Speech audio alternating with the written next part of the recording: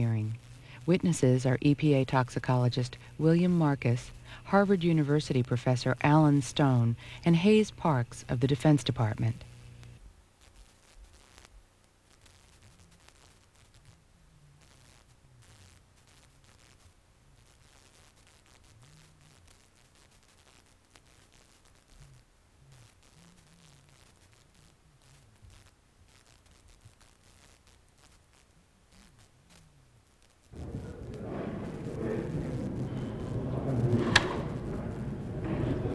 The uh, joint subcommittees will come to order. Uh, when we recessed, it was going to be Mr. Brewster's turn, and I will yield to Mr. Brewster five minutes. Thank you, Mr. Chairman. First off, uh, I happen to agree with Dr. Stone that the plan was fatally flawed when uh, the assault started on the compound uh, back February 28. Secondly, I think the execution of the assault on April 19th was almost equally flawed uh, as to the context of the way it was happening. And I happen to be one who believes that had there been a time frame of, of weeks, days, weeks, months uh, allowed to continue, that many of those people would have come out. Maybe not Koresh, but some of the others. But some of the testimony here concerning the gas uh, seems contradictory to me. Dr. Uhlig, you said that uh, methylene chloride uh, was a flammable agent in the CS gas.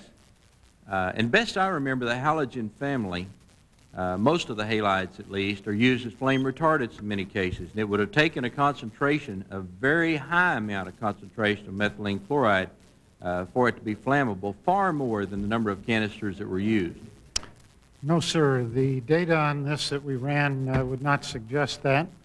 The second thing, uh, Congressman, if you get it in a vapor form, it, uh, I think the flammability limits, the lower limit is about 13%. So it will, uh, it will go in the vapor form. None of it was puddled. The second thing I'd like to uh, also state that when I was a young first lieutenant in the military, my secretary was cleaning her typewriter. In those days, of course, we had typewriters that hit ribbons and so on. She was using a preparation with methylene chloride in it. From the time it took me to get from her office to the men's room and back again, she had literally passed out over her typewriter. We got her out of there and were able to revive her happily. But, the, uh, but the flammability of this stuff, it does burn. There's no question about it. Now, you're right. Carbon tetrachloride is also known as CTE in the industry. It's first used by, I believe, the German Luftwaffe to put out engine fires. But uh, I'll guarantee you that methyl chloride, methylene chloride, and chloroform all will burn. But bromides, fluorides, chlorides, in general, the halogens are flame retardants as opposed to flame. Uh, there's uh, a different, it's a horse of a different color as soon as you start looking at bromides and iodides. I have a, a letter from the industry that says it would have taken 300 canisters of CS tear gas uh, in a room of 840 square feet as opposed to this building of about 370,000 square feet uh, to have made a flammable, flammable concentration. Dr. Marcus, uh, I find it interesting that you're testifying in this and that you're an employee of EPA.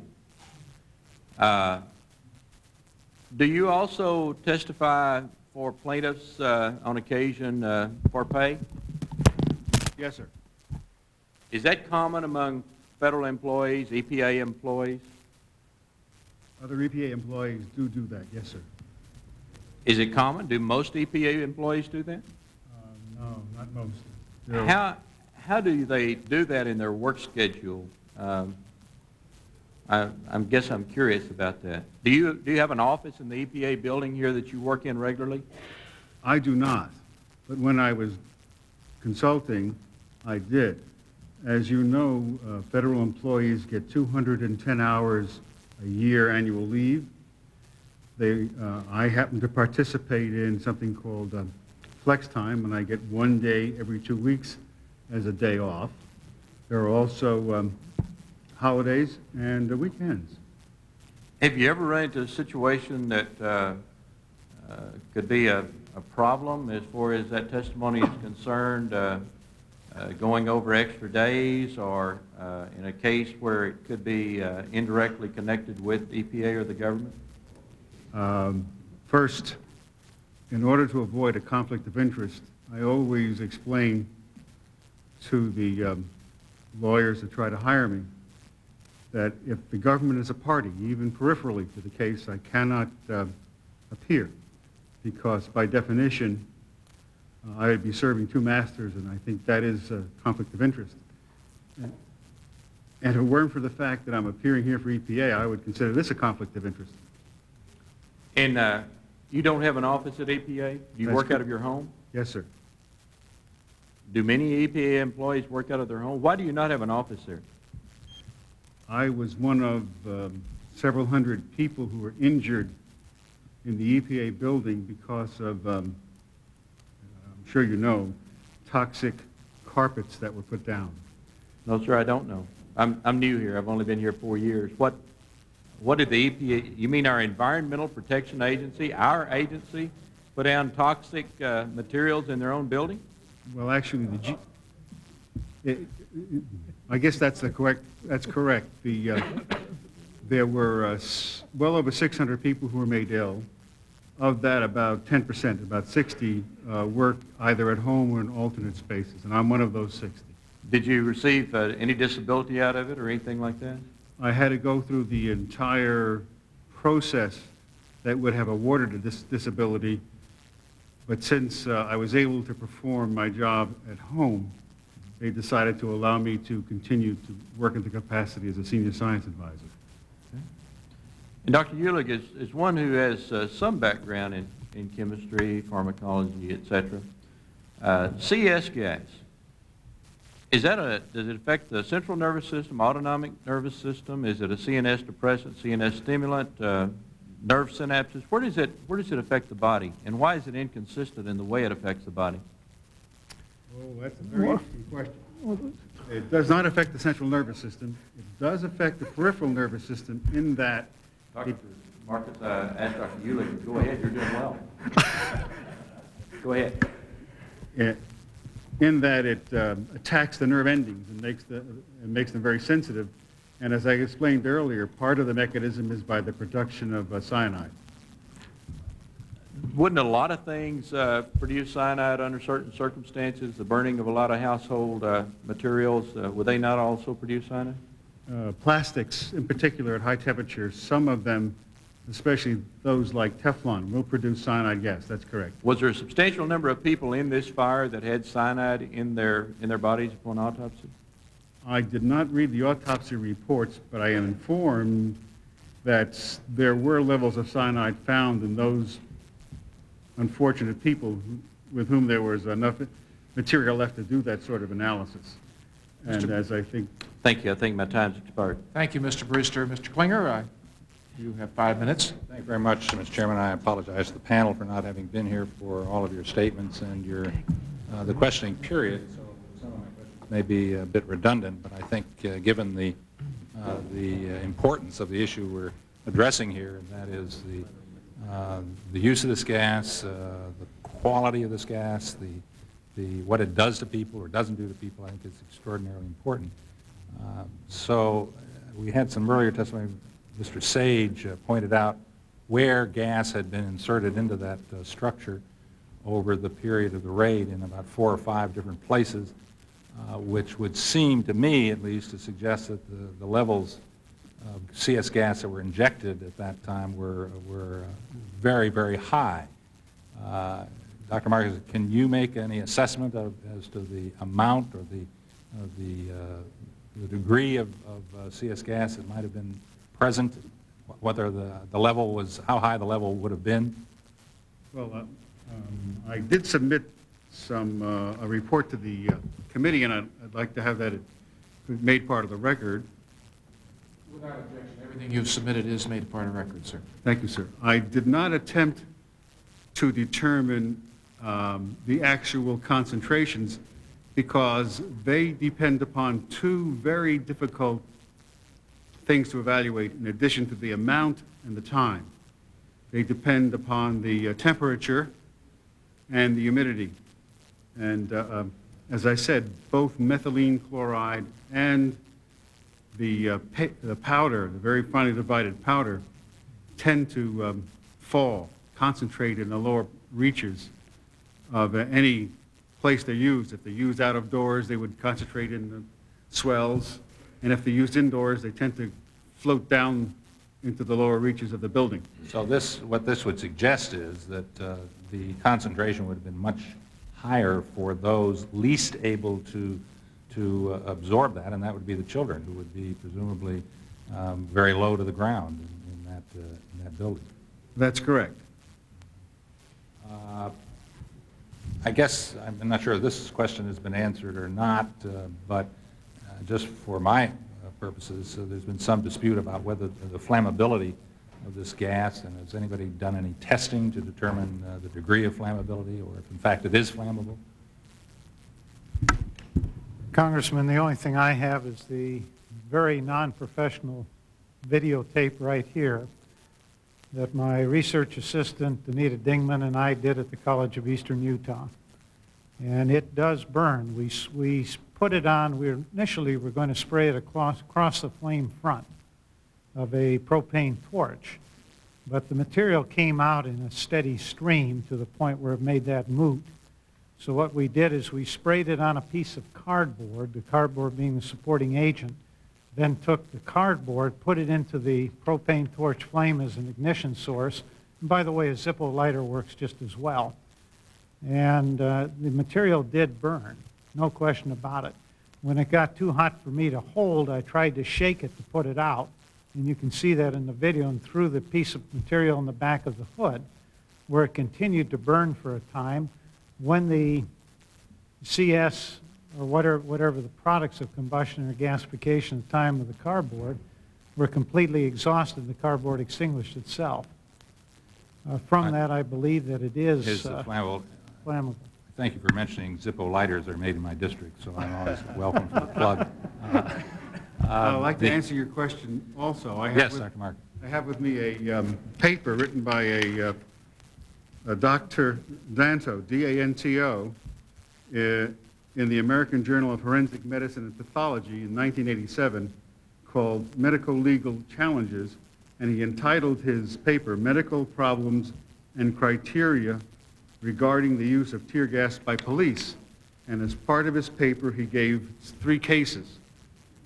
Case two talks about um, when police come to remove an abusive husband uh, who was intoxicated, and they managed to um, uh, extract his wife, even though the uh, gentleman pointed a rifle at them. Uh, less than 24 hours later, he had the police were recalled because he, the gentleman, the husband, was yelling and brandishing a shotgun at his neighbors. And uh, a coworker of the husband tried to calm him down and entice him out of the home to get a, a beer. And uh, when the po- police cut the uh, person off who was a coworker because he wasn't part of the force, gave the gentleman a five-minute deadline to come out, and when he didn't, they uh, lobbed tear gas shells into the, his home. They lobbed 40 of them at the, at the residence, some of which bounced off the walls. And uh, when he finally became quiet, that is the husband, the police went in to um, remove him. The house was already burning, and he had died from the exposure. In the uh, second case, Hey, uh, Let me, I've I've got one more question I want to get in, if I may, Doctor, before, uh, before my time is going to expire here, if I might. Uh, And that has to do, again, this, this, there has been conflicting testimony as to the toxicity of this gas, and and I guess this is what you were leading to as well, but Mr. uh, Janner said absolutely not, uh, characterized it as a relatively benign substance, and, and in no way was it toxic. In your opinion, is, is CS gas toxic? yes, there's no question about it being toxic. Uh, Every paper that I've read that's independently scientifically produced calls it toxic. The only question is uh, what's meant by that. And uh, uh, these materials are very, very nasty. That's why they're used. Um, And uh, here's a paper just off the top of the stack written by Dr. Beswick in Human Toxicology in 83, and he talks about it. He said, uh, um, the suffer, before going to the aid to the sufferer, you have to decontaminate him. His eyes, um, the inter intraocular ple- pressure would rise. If he had glaucoma, he might go blind. The skin, they get erythema, and at high concentrations with warm, moist conditions, blistering occurs. In the cardiovascular system, as a result of the fright and pain, there's an increase in blood pressure, and if he's a cardiac cripple, you could cause a heart attack. Uh, the respiratory system recovers quickly. As Dr. Park explained, uh, prolonged exposure can predispose to secondary infections. Um, gross exposure uh, produces edema and death due to asphyxia, and these would be exaggerated in people who have asthma and bronchitis. The treatment uh, recommended for these is unchanged. And higher, talks about the higher nervous system and how that's affected So it really is a total misrepresentation to say that this is not a, is not a toxic substance, and I guess my time has expired. Could I, Let somebody, could I just clarify? Chairman, can he- Some issues in relation to that question? Mr. Certainly. Chairman? Yes, you may. I think it's true to say that everything that we are exposed to is toxic, and nobody would actually argue with that. What's at issue here is at what level is the substance toxic?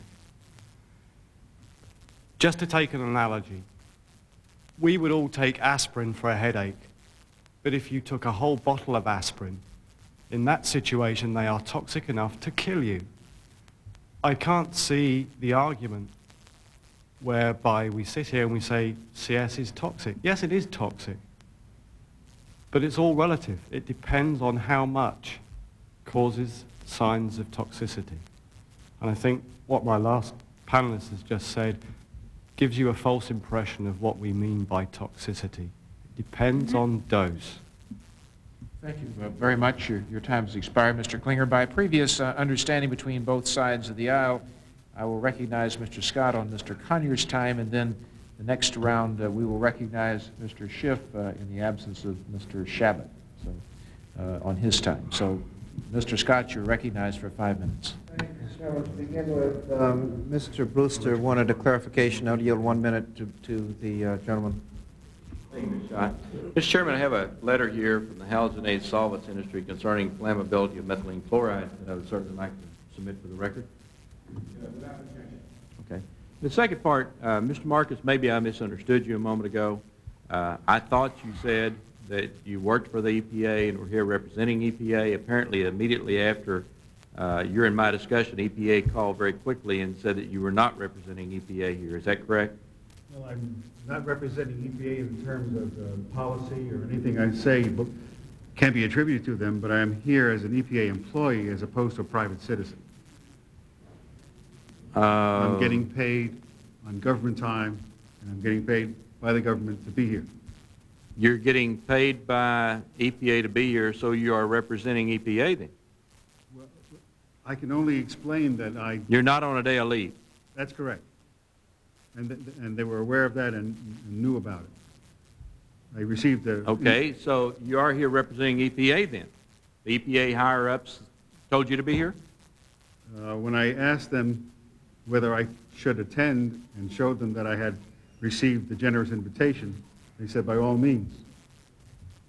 Okay, we'd like the information who uh, uh, approved it and that sort of stuff if we could, because as our understanding, EPA said no. Uh, The second part was, uh, did you say there were 600 of you that don't work in the building that were, had toxicity to the carpet or something? No, I said about 10% of that, about 60. About 60 of the 600 employees. And all of you work from your homes? No, some of us uh, work in alternate workspaces. Uh, We're moved out of headquarters into places that are- were more, much more tolerable.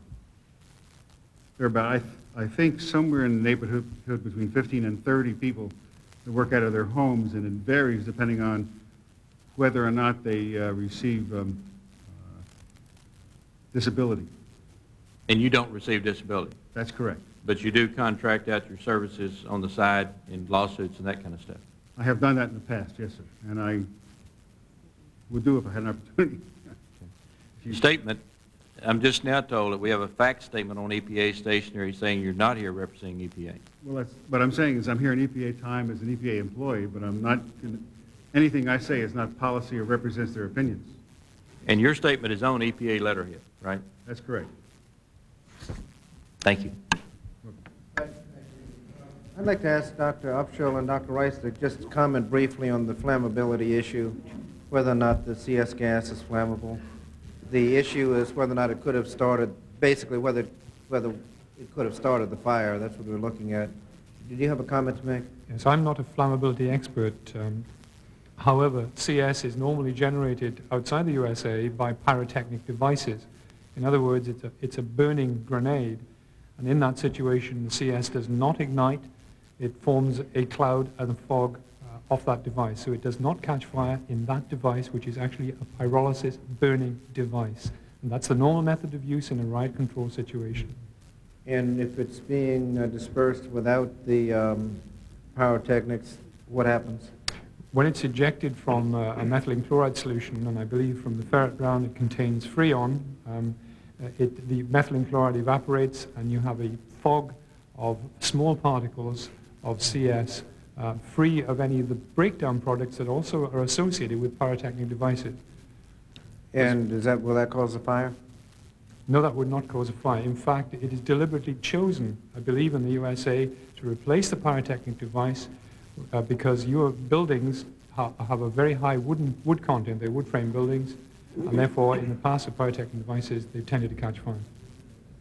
Thank you. Let me get, I want to get uh, back to the impact that the gas has on, um, on children. Um, we heard uh, speculation and theories about how it could theoretically affect children. Do you have any studies or evidence to show what actual impact CS gas has on children? There are, I think probably what you're referring to is, is a paper by Park and Giammona in which they describe the accidental exposure of a four-month child in a building to CS. When that report was written uh, back in 1972, we believe that that child was exposed to CS, but from a pyrotechnic device. I don't think there's any doubt from that paper that that child suffered, and as Dr. Stone has already said, uh, that child developed a chemical pneumonia of its lung. I think the important features to pull out of that paper is that ultimately that child survived. We are not sure at this point in time whether that exposure was purely due to CS. As I say, at the time the exposure occurred, it is very likely that that was a pyrotechnically driven CS device. And the importance of that is that from pyrotechnic devices, one would also have exposure to a large range of toxic gases that would also injure the lung, purely from the products of, of the burning part of the munition. So I don't think it's at all clear, certainly to us, that one can ascribe that case solely to CS. Yes, it was a nasty case and the child was admitted to hospital in a poorly state. The important fact is that that child eventually survived, and certainly there is no evidence of any long-term effects Well, on that child that we know used, of. Uh, has widespread use. Are there other cases that we can determine whether or not it has a disproportionate adverse effect on children, Dr. Upshall? I'm, I mentioned that case because that's the only real case that we're actually aware of that is, is reasonably well documented. As far as we're concerned, the, the evidence for uh, life-threatening injury to children specifically is limited to that case. Dr. Up- Doc- uh, Mr. Chairman, I think Dr. Upshall was answering, was answering the question too. Doctor, you want to? I was just wishing to add that the HIMSS Thank you. report, which is the most comprehensive study of CS ever done in response to the British government inquiry, does mention a case in Northern Ireland of a child exposed in one of the buildings uh, to CS gas um, that was used at the time uh, of 1969. The child suffered the effects, was removed from the rem- room, and recovered very rapidly after being removed, which is the, the normal response that you see uh, when a human being leaves such an environment. Thank you, Mr. Scott. Uh, Now I recognize Mr. Schiff under that arrangement for five minutes. Thank you, Mr. Chairman. and Dr. Uhlig, let me say, uh, since you did not receive all of the information about the uh, actual amount of CS gas used in this particular situation, If we get you that information, would you be willing to, to recalculate your, uh, your uh, investigation into this matter to see if anything changes your conclusions? I would, Dr. sir. All right. I I think that would be fair to you and to, and to the FBI that used the gas and, and to everyone, uh, that that be done, regardless of whether it changes your conclusion or not. Okay. Um, Let me ask, Mr. Mr. Marcus, I think that you have clarified that you are an EPA employee, but that you are not testifying in- in- on policy matters for EPA here today. As an EPA employee, though, I'd like to ask you this question. Could you briefly tell us what your background is uh, by which you, you are essentially testifying as an expert on the use of CS gas and its effect? Well, In the beginning, as we- as they said, I'm a board-certified toxicologist in general toxicology, which we- which entails a very long and invo- involved tests and a retest every five years uh, on the technical knowledge of uh, three different areas. And uh, my professional life... Three different areas include air, Oh, air uh, toxic- yes, my, um, I did my original work in both my PhD and master's in inhalation toxicology. uh, in inhalation toxicology. That's correct. Thank you. But I- I'd like to give one quick response. There are more uh, materials in literature talking about children, and I have before me an old report by uh, Cookson and Nottingham, Englishman and an English lady, in which they talk about uh, a a- a physician who treated people who were made ill that were exposed to CS gas. And uh, he talks about the mortality rate in adults is about 10%, while the mortality rate in children is about 90%. I have only kept accurate records of the numbers of such cases that I have seen since last June. Since then, I have seen seven cases of which there was one child of six years of age who died, one of 15 who survived, one lady of 40 who died, and four adults who survived. Now, I don't know enough about this particular gentleman to know precisely what happened, but they're talking about children and being exposed in enclosed areas, bunkers or shelters. I understand. Um, Dr. Dr. Upshall and Dr. Rice, uh, I, b- I believe the British government still uh, uses CS gas from time to time, is that correct? That's correct, yeah. For, uh, for, in civil matters as opposed to, Yes, indeed.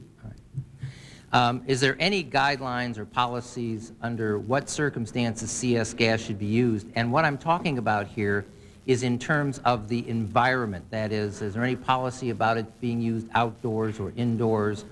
Uh, let me, let me just stop there for a minute.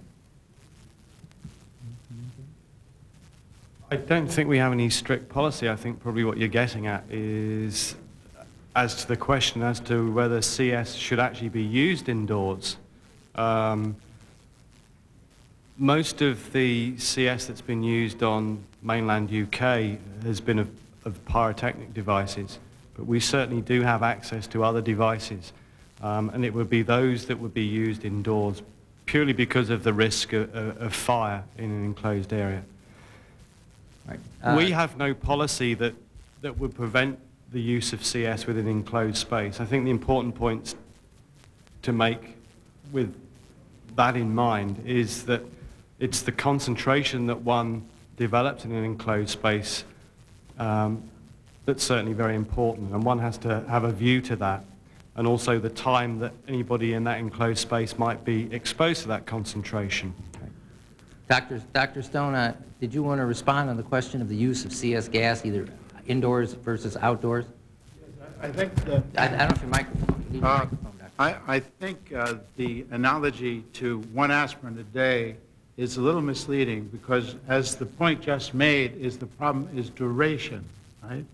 Now, I want to emphasize to you, the plan here was to expose people for 48 hours, okay? Now, if you look at the research done by the Himsworth people, in the report in the Himsworth report, you'll see that uh, even at relatively low or moderate doses, after 40 minutes or an hour, the animals will start to die subsequently of the same illness I've been talking about, namely a chemical pneumonia, right? So uh, if you keep the animal in the atmosphere for long enough, it's going to have that reaction. It's not just the dose, it's how long they're exposed. Now, So it's dose t- t- with duration. Yeah, Exactly, okay? So as long as the child is breathing that, it's burning its lungs. Mr. And that, that, that uh, result will be eventually to have fluid in the lungs. Dr. Stone, let me ask you this question. I think it's the obvious question. This gas, at, at, at best, is unpleasant. That's its purpose. Yes, yes. And yet, very few people came out of the compound uh, after the gas attack began. Do you have a conclusion as to why that was the case? Closer. I'm- I'm having sorry. Trouble with that, I think maybe partly because Mr. Schiff's so far over there. Okay, I'm sorry. Um, I, I think uh, if you, you- uh, as you may know, I was on the Attorney General's panel to look into what happened. And, and as you go through the, the material, I, I think uh, that the adults had gas masks. Right? So, so the adults put on their gas masks as a way of dealing with. When I spoke to Mr. Jamar at the time, the real question has always been the children. Did the children have gas masks? How were they going to be protected if they didn't have gas masks? And how were they supposed to endure 48 hours of gas? Okay? So you have a situation where maybe the adults are protected, but actually the children who are at the greatest risk are not protected. And, and the children, presumably, particularly infants, can't get out by themselves. That, that is a point, yes. Because I didn't think you have the microphone to you, would you mind repeating again just about dose plus concentration? Would you just mention that again briefly, please? Yes, I think the important thing, and I think that uh, you would agree with me, that you, if you keep the animals, which the research is done on animals, in the atmosphere that contains it long enough, they all will develop pulmonary edema and die, right? So it's not just how much, it's how long. And that's what this calculation that was being described to us earlier is And about. pul- And pulmonary edema is what, please? Basically, what happens is the, the, this uh, substance is designed to inflame, its purpose is to in- inflame tissue, right? So when you get it in your lungs, it inflame, your lungs are all this tissue, right? So it inflames it, and then fluid moves across. It's just like getting a blister where you get fluid. So the fluid goes into your lungs, and you develop pneumonia, chemical pneumonia, and, and then you can. Th- This child that went into the hospital was in intensive care and was in hospital for 28 days uh, with positive pulmonary pressure and everything to keep it alive. Now, if all those babies had come out, uh, where was the equipment to put them all in intensive care, right? So I, I, I, you know, there are real questions I have about the children and their exposure. My time has expired. Thank you, Mr. Chairman. Uh, Mr. Mr. Taylor, Chairman, you're recognized for five minutes. Thank you, Mr. Chairman. Dr. Stone, I noticed in your opening statement you used the words, "A careful reading of the ATF report indicates." So that lead me to believe you read it carefully? That, Ms. Dr. Stone, you, in your opening statement, used the words, "A careful reading of the published ATF report indicates." Is that to lead me to believe that you read it carefully? Yes. Okay. In your statement, you took issue with the characterization of the shootout at Waco as an ambush, in part because, and I'm using your words, only four agents got killed. How many law enforcement officers, in your expert medical opinion, would have had to have been killed that day to establish that there was an ambush? Would 10 have been enough to satisfy your professional opinion? Would 20? How about all of them? I, Dr. Stone, I, I can't believe you said that. Would you walk out of the hospital today and say we only lost four patients, so we shouldn't have? Well, I, I, please, sir, I, I, Do you I'm want an answer, or that a man of medicine would say a- that. Uh, What, and where is, you know, you go on to say that you cited evidence that there was no ambush because the fact that the Davidians didn't open fire as the agents drove out of the driveway. Isn't it possible that the agents, that the Davidians chose to hold their fire until the guys were out in the open, where they had no place to go? I, I am truly appalled at so many things you said. You, you said it was a, a botched raid, and you made the statement that four agents died on the roof. Again, you said you read the report carefully. The report clearly says that two of the agents were killed on the ground. Yes, sir. I understand that. Dr. Stone, what's your point? Are, are you on the side of the anarchists? I, I, I truly cannot believe that a man of medicine is going to say only four agents got killed. They had children. One of them volunteered for Desert Storm. They left widows behind. They were serving a legal warrant. H- have you listened to the testimony? No one's a legal warrant. They said they were fired at first. A former Green Beret from Vietnam said he had never been ambushed that badly, and the whole time in Vietnam he'd never been that outgunned. Jeez, on sir. I, I, I will not question your capability, but I will say, I'm glad you're in Massachusetts, and I'm in Mississippi. And my family in particular is 1,200 miles at least from your, from your hospital. Well, you're so entitled to... I'm going to go on and ask you're- this you're- panel the same question I've asked every panel. and- and I'm- You're, you're entitled to your opinion, sir. I, I disagree with everything you said, as No, you sir, might I'm, I'm quoting you. Please tell me, how, how, what did you mean? That 10 agents had to be killed? That all the agents had to be killed? Sure. M- Mr. uh, Uh, Dr. Stone, you may respond. Uh, The, the important issue, and the reason this was an issue for me, uh, Congressman, was to get some idea of what kind of people we were dealing with at Waco. That was a very important thing because the whole uh, task I was charged with by the Justice Department was how do you deal with unconventional groups, right? They considered this an unconventional group, not just a group of criminals. So one of the things we had to consider was how they behaved in relationship to this raid, right? Now, uh, it was explained to me, and I will repeat to you what Agent Jamar said, and you can ask him. He said that in the tactical advantage the Branch Davidians had, they could have killed many more agents than they did if they were determined just to kill people. Now, I'm repeating what Jamar told me, which was part of my inquiry during the time I wrote my report. If you doubt it, ask Jamar. Claiming my time, since there isn't a uh, great deal of time left, I would like to make two observations. The two gentlemen who said that the doses of gas were non-lethal in the amount that they were given happen to say in their own testimony that they are experts from the British Army. That's what they do best. I'd also like to make note that the opening statement of Mr. Uhlig, uh, in paragraph one, he goes on to say that he is not an expert per se in the use of chemical warfare. I'm making note of all of that, sir. I also want to now ask this panel the same question I've asked every panel, because I'm really curious to see what Dr. Stone's going to say. Has anything that you've seen or heard or read justified the murder of four ATF agents by David Koresh and his followers? And Dr. Stone, I'm not a doctor, but it was murder. Well, uh, what is the question you want me to answer? Has anything that you have seen or heard or read justify the murder of those four ATF agents and the wounding of 20 more by David Koresh and his followers? No, I don't think uh, that killing people uh, in that situation is justified. But I think that's uh, totally to uh, mislead yourself and the American people about what the critical issues are. Mr. Marcus? Anytime gentlemen as brave as these ATF officers in the field prove themselves to be die, it's a tragedy. And there's never an excuse for that. Never. Dr. Rice? I can see no justification at all.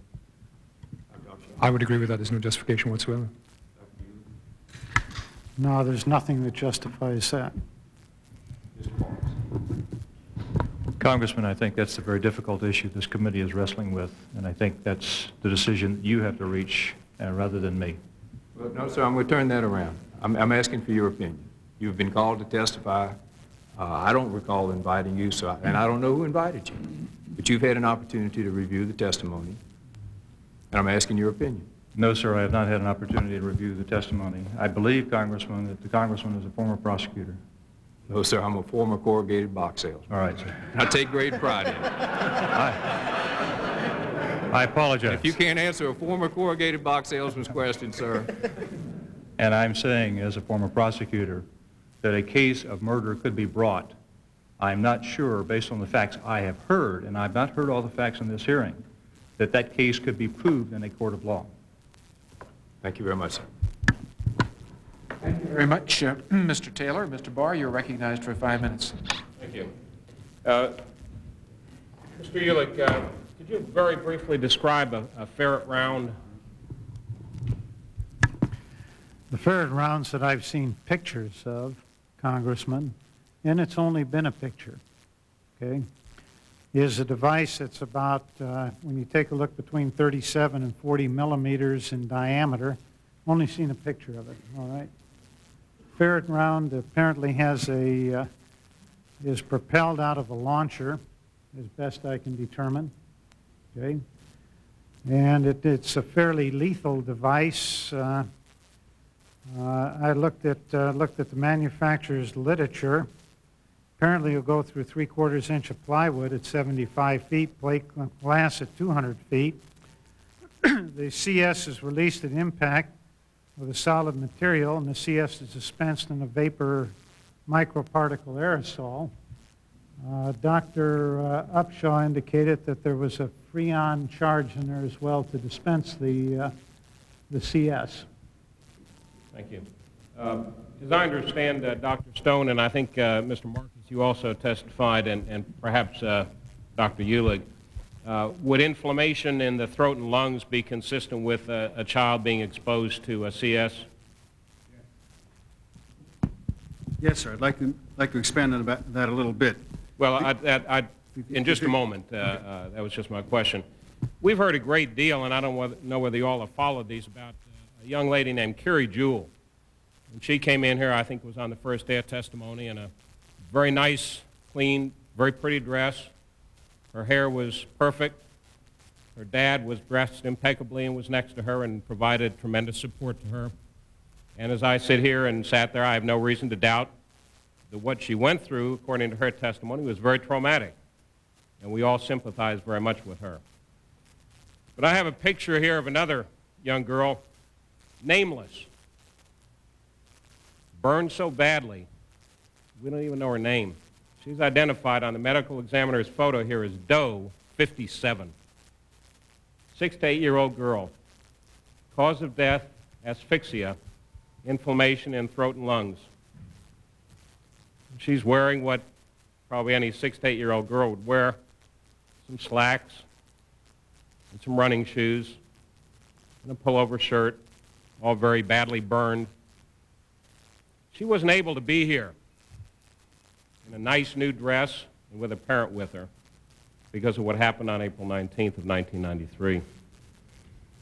I have another report here of child Doe, number 62, burned so badly that we can't even tell whether it was a boy or a girl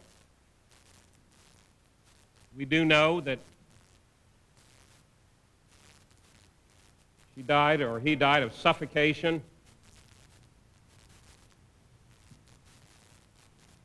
We also know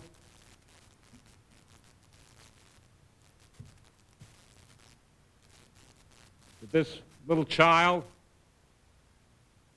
maybe a year old, was clad in a hooded long sleeve jacket a knitted sleeper, a disposable diaper, and a loose knitted shirt. This little baby also was not able to be here so that she could be paraded to show what a horrible person somebody might be, and indeed he was a horrible person. But who's going to speak for the Jane Does? And the child Doe that we don't even know what sex they were. We have heard today from you all about the effects of CS.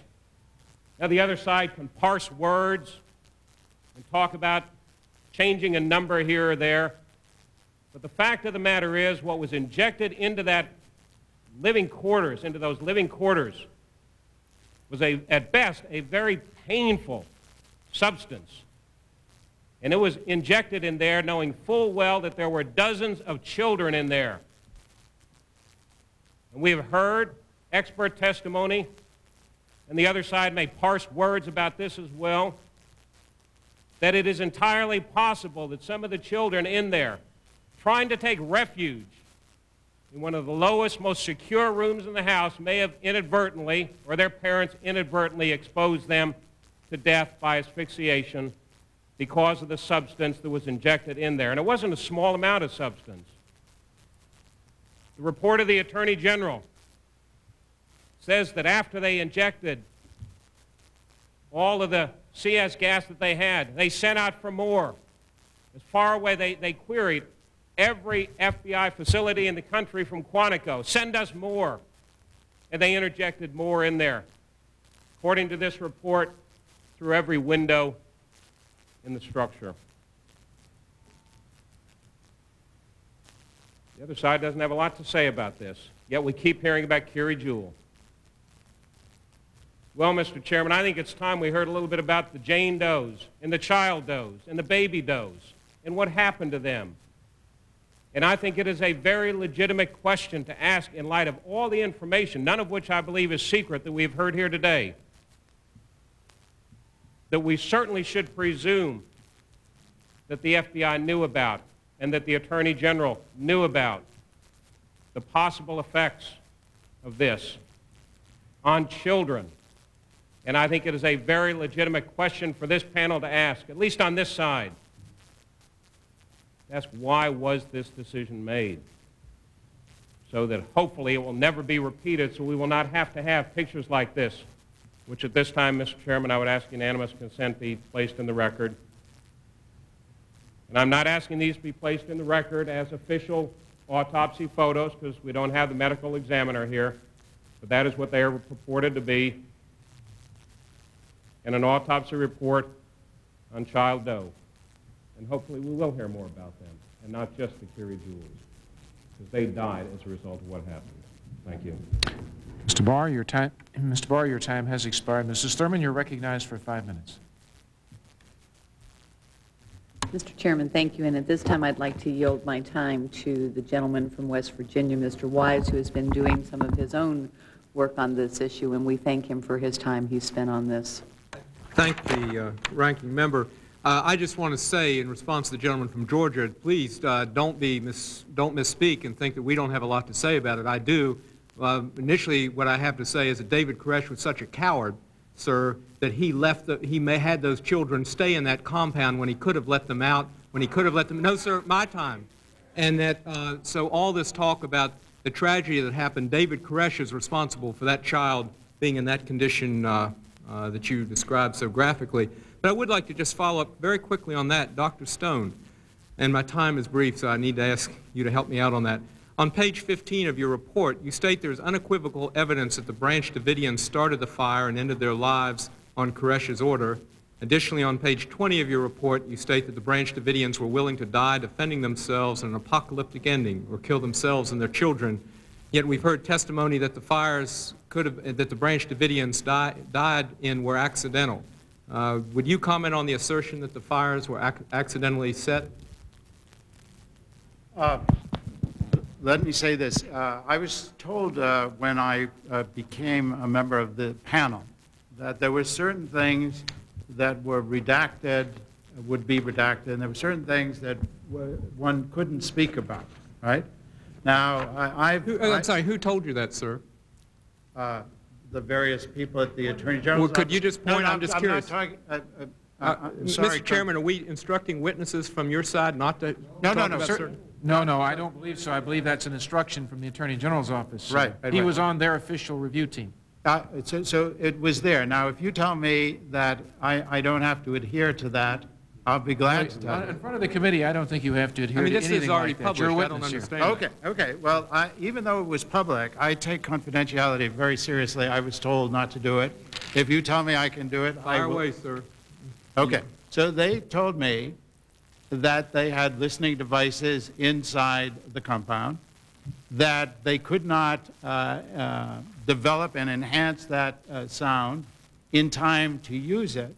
But the night before, they heard various members uh, of the inner circle of the Branch Davidians saying that David has decided that we are to step out onto the sun, that we are, uh, it's going to be really bad, uh, but that's what David has decided. And, and uh, I accepted that evidence uh, uh, as unequivocal that they intended to start the fire, yes. Thank you. Dr. Rice, uh, let's talk some about the gas, uh, and I understand you're an, certainly an expert in that. I think we need to get back to how much gas was put into the compound and whether it was lethal. Have you had a chance to review how much was injected into the compound? We, as you know from our opening statement, um,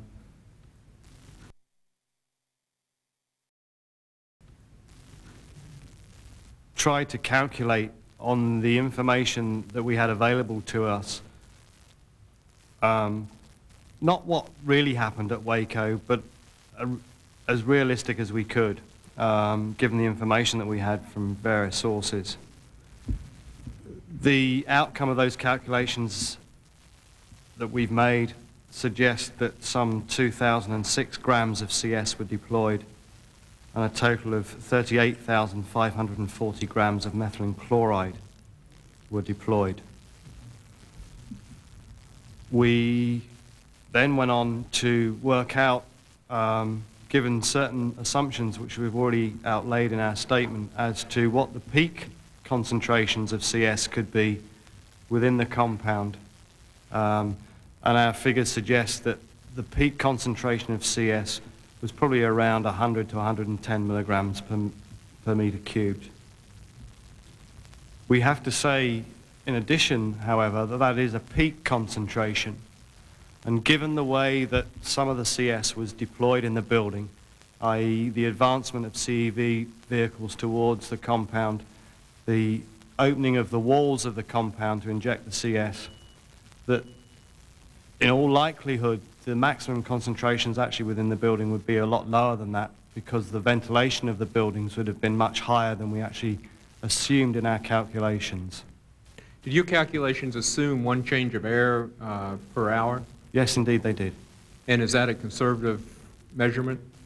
That figure we used because we knew from work done for the Himsworth report that we could actually have, we actually had figures for that rate of change of air in terms of how the CS cloud would actually decay in terms of concentration. That's the only reason why we use that figure. Do those calculations also factor in the 35 mile per hour winds? No, they didn't. And were those winds a factor in your opinion? Most certainly a factor, yes. In what way? Winds of that speed going through a building, uh, and uh, I believe that the winds would have actually entered the building through the large holes in the sides through which the CS was injected. Uh, that would just greatly increase the ventilation of the building. I'll be back, but in my final question, I would ask, then, given what you calculated, uh, what percentage of that uh, is, is a lethal dose, a lethal amount uh, of CS? Um, my point is, I, I think that what you found is that there was far less than what would have been a lethal administration of gas. Sure the peak concentration, um, we're not saying is, is, is low, um, but certainly if that was breathed for a period of 10 minutes would be significantly below what has been estimated to be a lethal dose of CS for an exposed population. And that is, and that is without factoring in the 35 mile per That's hour That's without factoring in the 35 mile an hour wind, um, taking into account the volume of the holes that were made in the building, certainly, yes. Dr. Upshall, were you trying to add to that? Yes, yes, I may, I could. Uh, um, what, I, what I would like to add is that we estimated that if someone stayed in that building for at least six hours. They would still be some 10 times below what would be an estimated lethal dose. I'd like to take the opportunity to, to correct a piece of information that, that is, is frankly incorrect and has been stated previously. The idea that that cloud would have settled so that persons close to the ground would have had a higher concentration. That is not true the cloud behaves as a gas would behave in that situation for that particle size. And there is no settling of such a cloud. It moves as a gas cloud would move. And uh, the settling that would take place would only occur if the concentration was so very high, and this is exceptionally high, that the particles would aggregate and literally precipitate out of the air and fall onto the ground. So as long as those particles are suspended in the air, they would move as a gas cloud would move and mix accordingly. So that information is incorrect. Thank you. Mr. Coble, you're recognized for five minutes. I think, Chairman, uh, gentlemen, it appears you all bring a, an impressive array of credentials to this table, and it's good to have you all here. I know my friend from New England wants to pursue a question, so in the spirit of generosity, I yield my time to the gentleman from Massachusetts. Thank you very much, and I thank my good friend for yielding uh, his time. Uh, Dr. Stone, uh, I was kind of shocked at one of our colleagues' uh, line of questioning earlier. Uh, I thought that you answered it well when you said that uh, the person had misled yourself and the American people as to the critical issues in this case, what they are. Uh, I think that's a pretty good description of uh, what a lot of people have been trying to do in this case, the White House included, and some members of this panel. I also thought to try to uh, link you with the an anarchist movement. Last time, uh, my knowledge of Harvard would lead me to believe there aren't many anarchists at Harvard University. but beyond that, I think that the overreaction to your testimony uh, is linked to the fact that, number one, uh, you're independent. Uh, you were chosen by the Attorney General herself, presumably uh, because of your academic credentials and your independence to assess what happened in this case. And frankly, you've come down uh, with a different opinion than others have about the government's uh, investigation. I want to quote you. You said, I found the government's investigation seriously deficient. you said that, the, quote, the government never gave us a candid account of what went wrong. And finally, you welcomed uh, these hearings by saying that uh, these investigations should dispel bizarre conspiracy theories that have flourished in the past two years. Uh, so let me just say that uh, I appreciate your testimony. I appreciate everybody's testimony, whether they agree with my conclusion or not, and I certainly would cede their independence uh, and their credentials before this committee. Let me ask you about uh, something you've said about the FBI because this is a strong statement also. You said the FBI's ultimate strategy was to try to force the Branch Davidians out of the compound by threatening the lives of their children.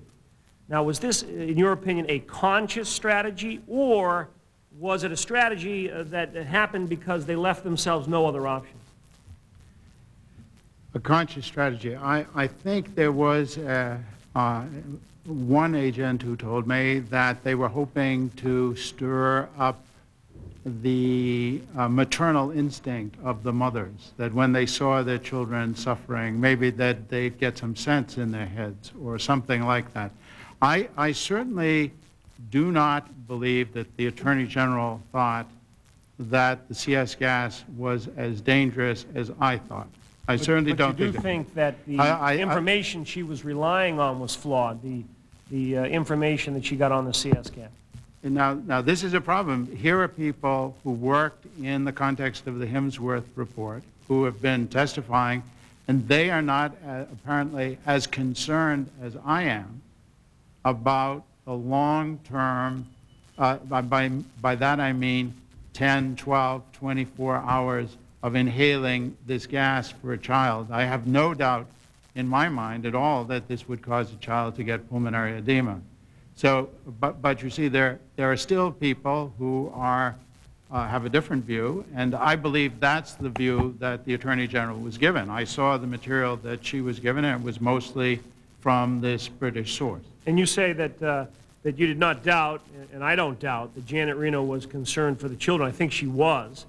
Uh, but that, and you feel that she would never have felt justified in ordering the gas attack if she had understood the risk to them, as I think you and others have indicated.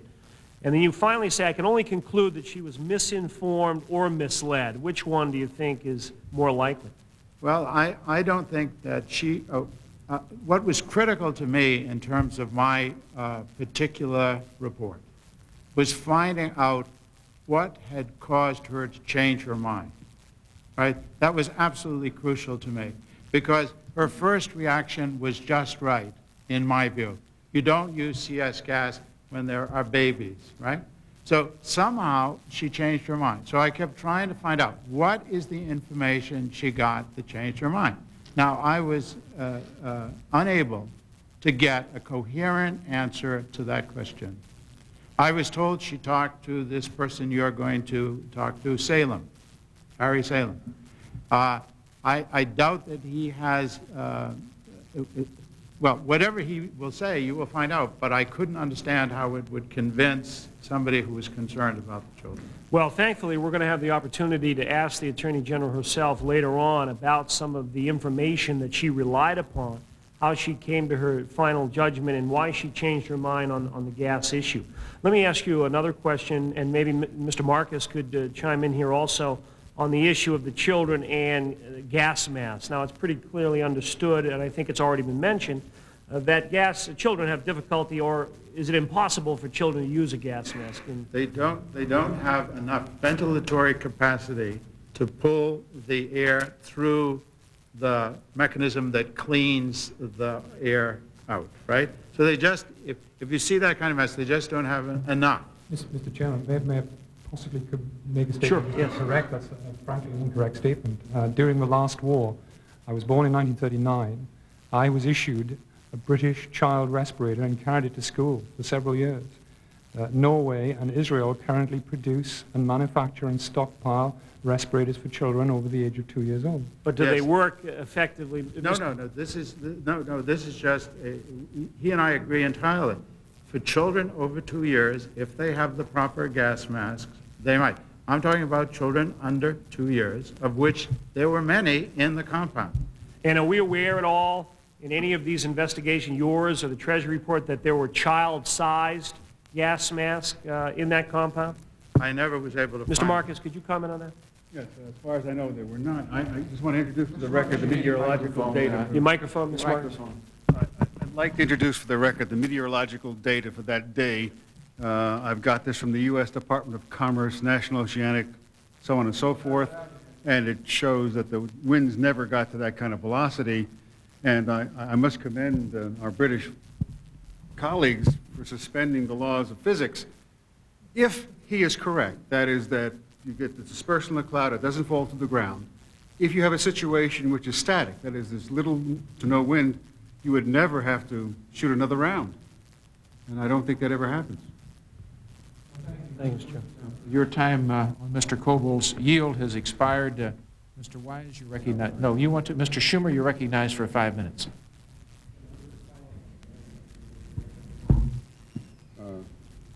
No, go ahead. Uh, Upshall, I saw you reach.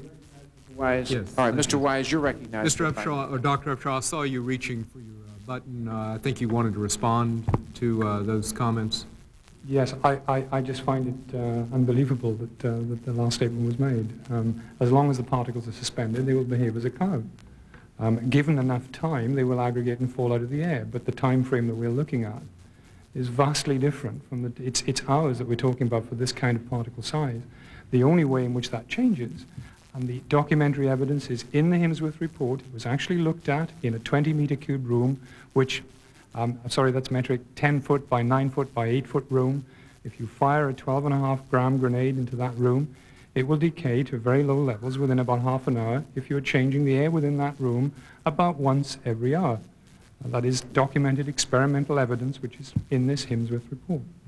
Uh, Dr. Stone spoke about uh, his concerns about toxicity for children and particularly for infants. Uh, given the amount uh, of dosage that you've calculated was in that compound at the time, uh, given the winds uh, that were going through the compound, uh, was there an amount that would have been present that could have endangered uh, even infants? I would address that to Dr. Upshall. Sorry, Or I- Dr. Rice. Given the concentrations that uh, we've calculated in the decay there, the, the point is we don't believe those concentrations were sufficient uh, to cause serious harm to adults or children. I mean, we keep pulling on the children here, and, and I, I, I can see why you're doing it. But the, the main point of the argument, as far as CS is concerned, is that there is no evidence to suggest that children or the elderly or any, any other extreme of age is any more susceptible to the effects of the gas. If the concentration is high enough, the effects will be seen in everybody. And yes, I don't deny that they're unpleasant, but the concentrations that we have calculated and the decay of those concentrations, even if a child was in that environment, which I think is extremely unlikely, for the whole period of the gassing operation, i.e. six hours, we don't believe those accumulated doses of CS would have led to any serious long-term harm.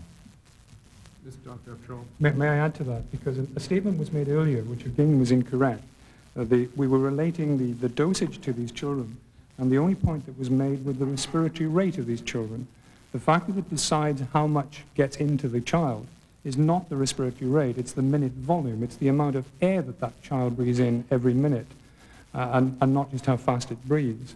And that determines the dosage to that child, and the minute volume of a child is considerably less than an adult. So it will take in considerably less than an adult for, for its given body weight. Well, apparently it wasn't, the gas wasn't all that strong as far as adults went because it didn't drive anybody out. Uh, well, I, I don't think you can actually conclude that. We know, or our calculations suggest what the concentration is. That assumes that they weren't driven out if they were actually exposed to it. We have no evidence that they were exposed to that con concentration for any length of time. They may well have... One, pardon me, but my time's going to be running short. It's one okay. reason because it was a very big compound. We're not talking about your 10 by 9 by 8 room. No, I understand. Yeah. Um, uh, incidentally, I, just so the record shows, interesting enough, one of those children that was found, perhaps it was a child that Mr. Barr was holding up a picture, was found stabbed. Uh, gas doesn't stab people, does it? I think if you look at the autopsy records, without exception, the bodies of all the children were found in the bunker area. Uh, Mr. Marcus, you said that the winds couldn't have been that high. Do you have any estimate of what the winds were? Um, yes. I actually have, as I say, I have the meteorological data for that day uh, by hour. And the winds uh, from uh, let's say, uh, uh, 6 o'clock, we're 25, gusted to 25 miles, an, uh, 25 miles, or, or 25 knots, 18 knots, 15 knots, 21 knots, 26 knots. Uh, the highest gust was 26 knots. At any rate, we're not talking about a static situation. Correct. But remember, these were, this was inside. I understand that. I understand there were holes in this compound uh, after a while, too. Quite uh, large holes. Yeah, um, I want to shift just a second, if I could. Uh, Dr. Rice and Dr. Upshall, if this is not an area that you feel comfortable talking about, uh, an area of expertise, please let me know. Uh, I want to talk about law enforcement's present practices. Following, the, um, uh, following Waco, uh, is it not still the practice of law enforcement to use CS gas? In the United States, I believe that's the case. Uh, what is an interesting comment that deserves to be made is that the Himsworth Committee recommended that for internal use in buildings, if CS was used, grenades should contain no more than 5 grams of CS. Uh, the Waco ferret round, in fact, contains 3.7 grams, which is even less than the Himsworth Committee recommended would be the maximum to use. Well, I just I found it interesting. According to the FBI, 867 states and local law enforcement agencies that were contacted still use or maintain CS gas 688 uh, maintain it in their inventory. Uh, the FBI has used it six times in the last five years, not including Waco, three before and three afterwards. Uh, number of law enforcement agencies, local law enforcement, uh, still use CS gas, not only in the hostage situation, but also as a spray, and I think that ought to be pointed out. Much of the, some of what I'm talking about are using as a spray outside. But so CS gas still seems to be considered by law enforcement to be a viable, uh, uh, to, be, to be a viable usage uh, in certain situations. Um, I'll, I'll, yield back my time. Or I'll yield the balance of my time, whatever might be left to Mr. Schumer when he's available. The clock has run out now, Mr. Schumer. The red light's on. You didn't quite get back Mr. There. Go ahead. You can bang the gavel, right? Do you, do you, do you want to you want to ask a question? I'll, I have my own time coming. That's so fair enough. I'll be uh, liberal enough with it. Mr. Blute. Come on now.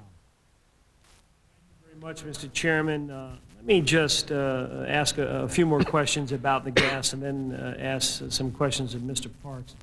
Um, it's my view uh, that, uh, and I agree with what's been said by Dr. Stone and others, that uh, and let me quote Dr. Stone, given my current information about CS gas, it is difficult to understand why a person whose primary concern was the safety of the children would agree to the FBI's plan. And I think that's, to me, that's fairly clear that uh, in any other type of law enforcement situation, if you had a hostage situation where one kidnapper, two kidnappers had taken hostage of an entire family of five or six children, it seems to me that the local police uh, uh, motivation would be to do anything but to endanger those children. That's my understanding of how uh, law enforcement, at least at the local level, reacts to these types of situations. And I think that perhaps the religious component of the Branch Davidians and a, and a kind of misunderstanding and a group uh, analysis that they were all Branch Davidians so that they were all somehow guilty of something and worthy of, of gassing and, and, and attacking, that maybe that had uh, part of the, the issue there. Uh, let me turn to uh, Mr. Parks. Uh, Mr. Parks, you're an expert in the body of international law relating to armed conflict. Is that right? That's correct, Congressman. And you're a member of the United States delegation to international conventions uh, at which these types of laws re with regard to war are made? That's correct. What are the current treaty obligations of the United States with respect to this CS gas in military conflict? Well, I would stress the point that the Congress made, the current obligations do not include the 1993 Chemical Weapons Convention, which made some slightly different rules with regard to riot control agents. The United States is bound by the 1925 Geneva Pro Protocol, which basically prohibits the first use in war of chemical weapons. And as I stated previously, the United States does not regard riot control agents, including CS, to be a chemical weapon. So, uh, in, from your opinion and the Department of Defense's opinion, this gas is not prohibitive? This is not considered a chemical weapon. Well, uh, it's been, uh, we've heard from a number of people that perhaps it is uh, uh prohibited. Uh, I understand that there may be a technical problem there as to whether it's, a, it's prohibited. You're saying it's not. Others, I think, have testified that it is prohibited. Does anybody else on the panel know about that aspect of this, whether the, the, our treaties prohibit the use of CS gas? All I can say is that the UK takes the same view as the US. It's, it's permitted for the use in civil disturbances. And but I, not military? Oh, I'm sorry. It, it, it is used for military purposes as well. In, in and there's no prohibition, uh, to your knowledge, of, of, it in the military? I, I can't answer. Okay. Congressman, if I can clarify that. There is a policy restriction on the use of CS in combat for the very simple reason that if you were to use CS on the battlefield and the enemy were to observe it's being used, say, through binoculars rather than someone inhaling it or some sort of detector, they might perceive that you have used a chemical weapon and escalate the level of the conflict with chemical weapons. So it's more of a tactical issue. It's a policy decision. It's a policy decision, so as not to escalate. Which is contained in an executive order, 11850, that's been in effect since uh, President Ford's time. Well, I'm glad would, you cleared that up. Yeah, Let me could ask, I, could I clarify sure. one other thing? I would point out that even under the 1993 Chemical Weapons Convention, the policy would be that we can use these in other military operations short of actual armed conflict. Peacekeeping operations such as Somalia or Haiti, uh, rescue operations and things like that. So our policy is quite similar to that for law enforcement operations. All right, let me ask you one other question. In, in your experience and in your knowledge uh, with the DOD, has any, and I know we've had testimony from a number of people uh, that the military uses this gas to train on a regular basis. Is that correct? I was trained on it 30 Everyone years that ago, testified, so I'll have even to say non-military, said that they were trained on it. My question is, to your knowledge, has any uh, soldier in training ever died as part of that training with CS gas? I, I don't have that knowledge. I can't say. Thank you very much for that. Uh, let me ask a more uh, general question of the panel. Uh, we've talked about the, the fact that, uh, that there were children inside the compound and that perhaps this is a, very pretty good reason why not to use it. Let me ask Dr. Rice and Dr. Upshall if you agree with that, that it, in, a, in, a, in a situation, a law enforcement situation, where there are children, uh, particularly younger children involved, would you advise law enforcement not to use this gas? It would it would depend entirely on the operational situation. Uh, it is a balance of risk uh, and, and consequence. And if, if the child was deemed to be of greater risk from the consequences of not using CS, I would advise to use it if it felt it would resolve the situation. But in this case, this was not a pure hostage situation. We've heard testimony to that extent. Some people think it is a pure hostage situation. Clearly, there were opportunities for some of the Davidians to leave the compound on their own, and they chose not to for religious reasons, because they believed Koresh. For whatever reason, this was not a pure hostage situation. So how do you use a CS gas to drive people out of a place that they don't want to be driven out of, who are potentially innocent, children, some of the women, some of the older people? I cannot answer that. All I can tell you is that the concentration of CES would drive people out of those buildings. Um, the, op the operational decision to use is something I can't comment on. So what you're saying is that the, uh, the effort to drive the people out of the, the, the compound was unsuccessful, uh, obviously, because if, it, if you believe that if they were successful, uh, the people would have had no choice but to get out of there. They, they should have moved out of those buildings, but in, in terms of After six hours of building exposure. The first exposure would have moved them from the room. However, we should clarify what we mean by moving them out. They could have moved to another part of the same building where the CS concentration was lower. They didn't need to come out of the building, uh, as long as they moved out of that cloud of CS smoke. Well, I would like to thank the panel for their uh, testimony. I think it's been very informative and very important. Thank you very much. Uh, Ms. Lofgren, have you been recognized? I don't think you have. Would you like five minutes? I recognize you for five minutes. I, um, I've read through um, the material and the scholarly arguments, but I'm trying to, is, is, is CS gas what was used uh, in, on college campuses in the late 60s and 70s in the, in the demonstration? Isn't that the same substance? Perhaps I should answer that purely anecdotally. I was at Berkeley between 63 and 66. And so you have personal experience with this substance? I certainly saw what went on. My belief is that at that time, CN was being used.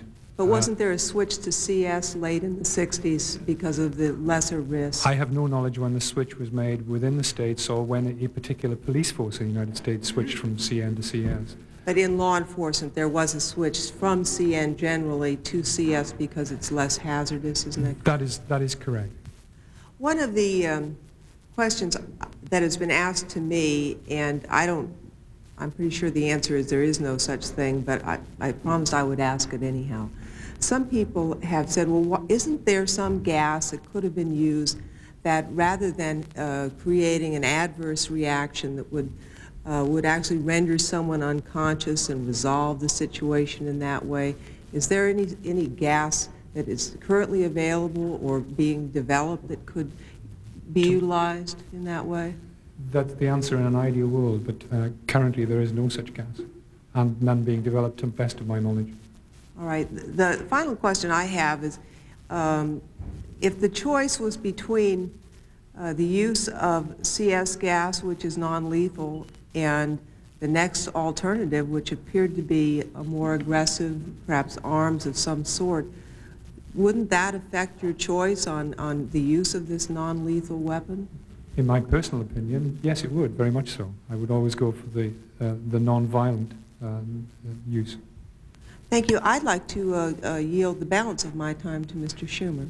I thank you, uh, Ms. Lofgren, and I thank the witnesses for bearing with us on into the evening.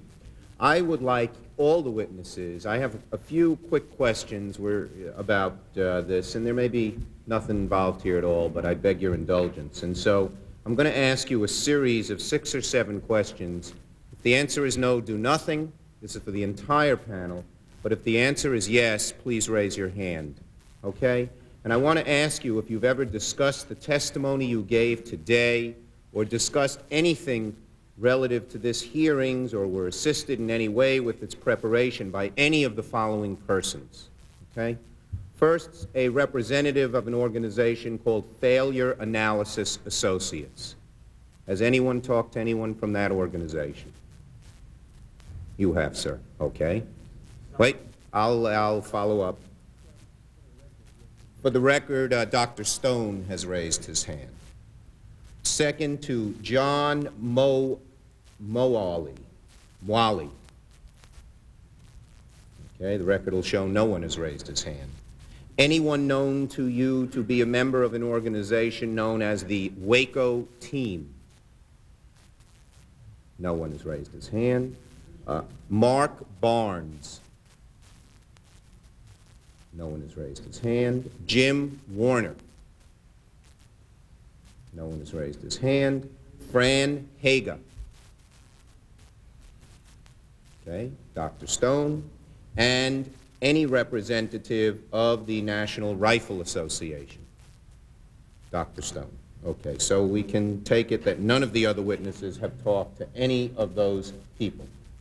All right, thank you. Um, and I'll come back to that in a little bit. My next question is uh, just related for Dr. Marcus.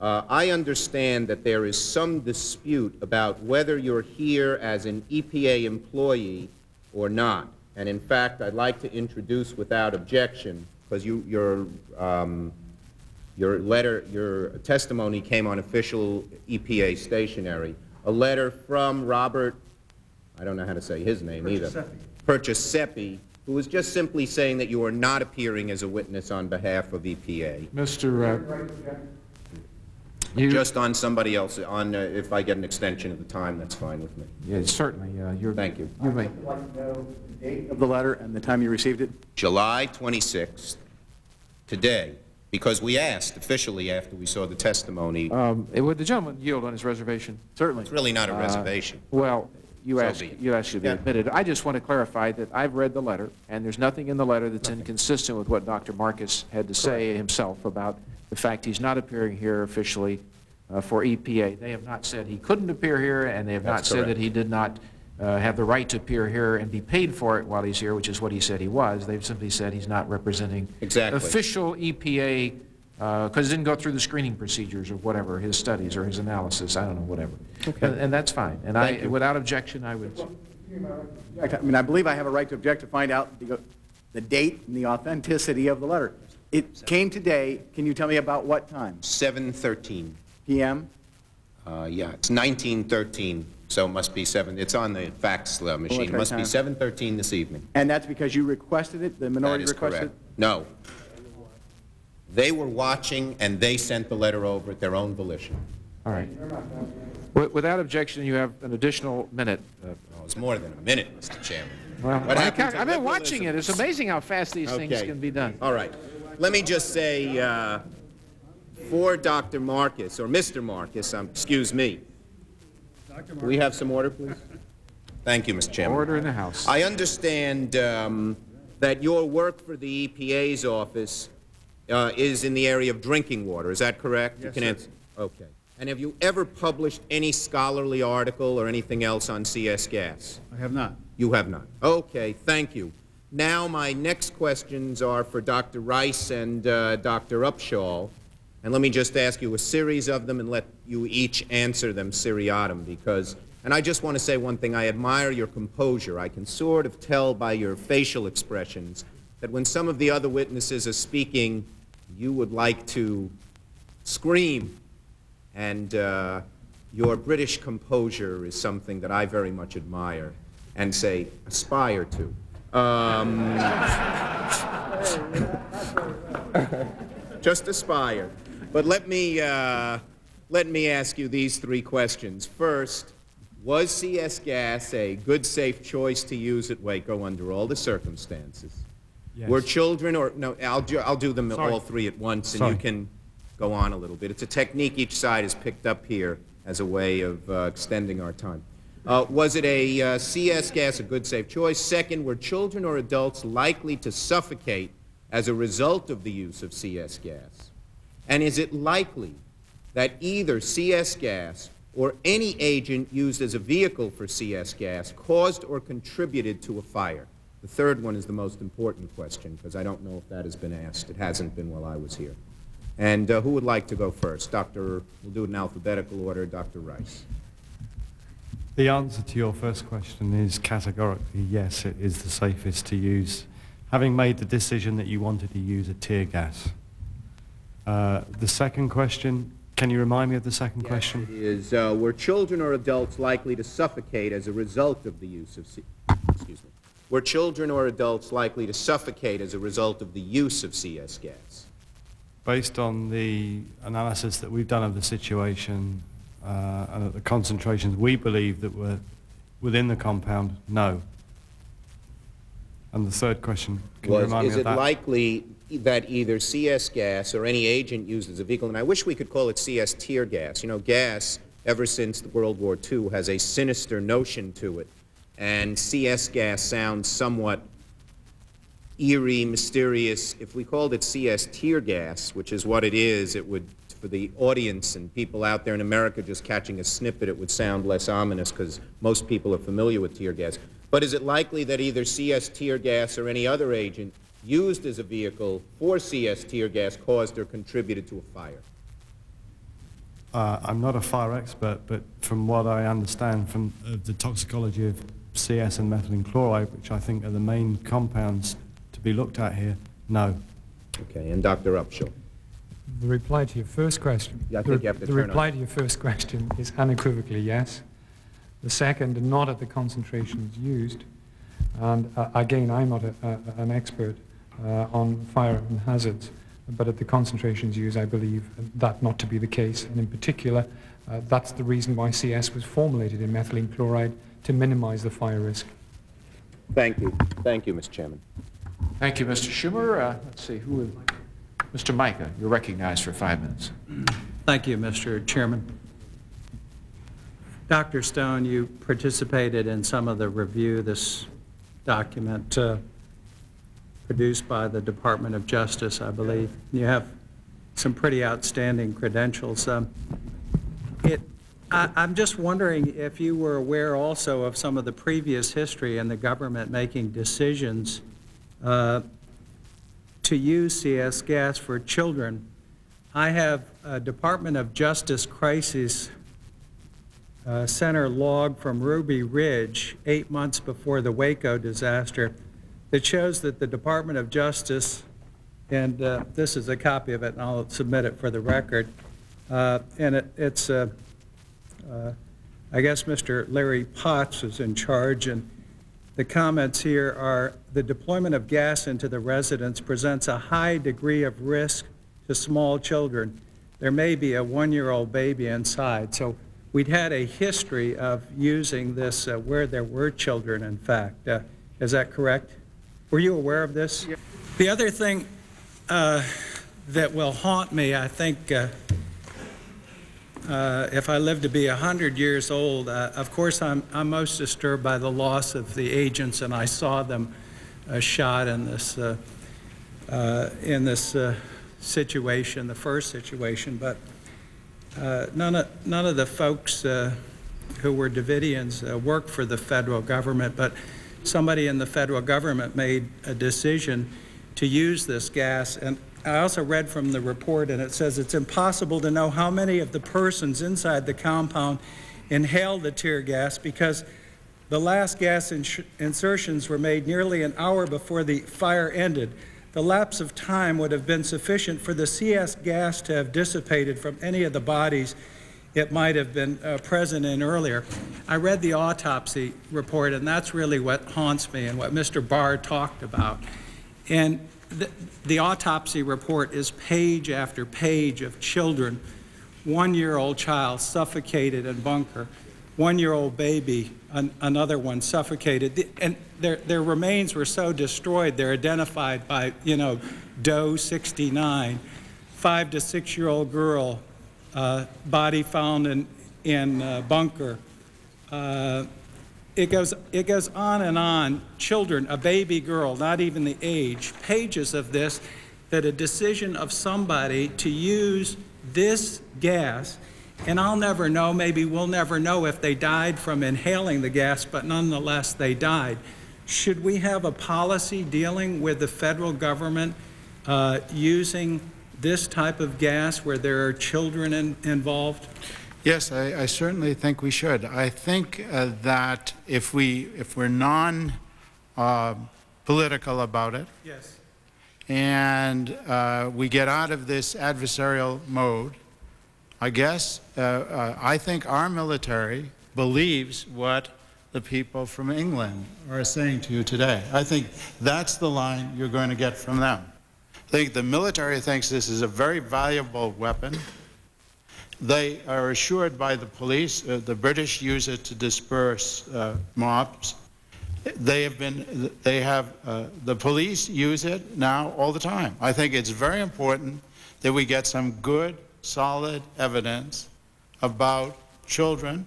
I don't think we've heard any solid evidence about the risk to children. I think if you would get the National Academy of Science or someone to answer this question so that the FBI, when I push them, and, and I consider Mr. Jamar an incredibly conscientious man, and when I pushed him and pushed him about the children, he practically uh, became tearful. And then he says, well, the Army told me we have the best people, right? So I think it needs to be clarified what We it- should have a policy. and we should have a policy. Particularly children. I haven't even gotten into the women or other uh, folks that may have Right. been innocent. I thank you, and I promise to yield uh, to my colleague, Mr. Schiff. Uh, He was gracious to me yesterday. Thank you. Thank you. Two things. Uh, Thank gentlemen for yielding. First, for anyone who says, suggests that government employees don't work late, I think that we should proudly refer them to the Environmental Protection Agency, whose employees stay in the office past 7 o'clock, at least when there are congressional hearings going on that they might be concerned about for some reason. Let, let- let me ask more seriously. Uh, at the very least, we know this gas is a heavy irritant. And yet, I believe that the plan was to insert this gas for 48 hours. Does anyone on the panel know and can say briefly why was this gas going to be inserted for 48 hours? Why did they expect it wouldn't work right away to get people out? Can, any, can anyone explain that? Dr. Stone? It's my understanding that they thought that there were enough gas masks, not taking into account the children, that they may be able to protect themselves. And after a while, the canister doesn't work, so you've got to get another gas mask and so forth. So they thought that eventually the place would be so contaminated, they'd have to come out. Did they expect, even with gas masks, did they expect people to start coming out in the first hour or two hours or three hours, if you know? Yes, the, the plan was that we're going to start injecting the gas at one place. The military told them, they, they told me, that we should inject it everywhere at the same time, massively in it. And so they developed this fallback plan that they start to inject the gas. If they shoot at us, then we'll inject it in everywhere. Okay? So then they started injecting it everywhere, and they quickly used up everything they had trying to inject it in. And uh, according to Mr. Jamar, at least, he would never have ordered it if the wind was blowing. That's why the wind is blowing is a big question. Because it wouldn't have made sense to do this with the wind blowing, but that for the first two hours, the wind wasn't blowing. Were they expecting people to come out early, at least, Yes, at least some? yes. And people did not come out early. Right. Then they just kept up with their plan anyway. Well, at that point, they had, they, as they report, they were shot at, and so they'd moved to this next plan of putting the gas in everywhere. My time has expired. Thank you very much, Mr. Chairman. Mr. Chairman, I wonder if I could uh, add a comment to that. Uh, you may comment, Dr. Upshall. Just, to, just, just for the record, my understanding of the situation at Waco was that the gas was not put in continuously. It was put in in four discrete shots uh, at about one to one and a half hour intervals. And there were gaps in the period, and according to our calculation, of between half an hour and one hour when the gas concentrations or the CS concentrations would have dropped to very low levels indeed. So it was a pulsed input, not a continuous input, just for the record. Dr. Uhlig, you want to comment as well for the record. We I can't would, have everybody doing it, but if we, once we get this started, I think all of you are fair game. Go ahead. I would like to make a comment. During the time bef- uh, between the major gas injections, my understanding is that the ferret rounds were continued to be fired. So there would be a continuous injection of the CS methylene chloride. And if I may make a clarifying point with uh, uh, Congressman Brewster. Congressman Brewster, I understand now where you're coming from. You made the statement about uh, halides being flame retardants. There are two types of chemical compounds, one organic and one inorganic. You are correct. Inorganic halides are flame retardants. However, organic halides do burn like the dickens, with the exception of some of them, such as carbon tetrachloride. So there's two different compounds involved here, sir. Thank, thank you, uh, uh, Dr. Marcus. You may, uh, as everybody else has jumped in, you may. Very briefly, just want to say that this material causes adults to vomit. when it's in high concentration. It also causes children, even young children, to vomit if they're small and if they've been knocked down by the gas, or in this case, the powder. The chance of, of aspirating their own um, vomit is very high, and this causes an aspiration pneumonitis which cannot be differentiated after all is said and done from what would have occurred if it was CS alone. Thank you very much. Um, as I understand it, the minority does not have any more right now, wants to pass, only has one uh, questioner left.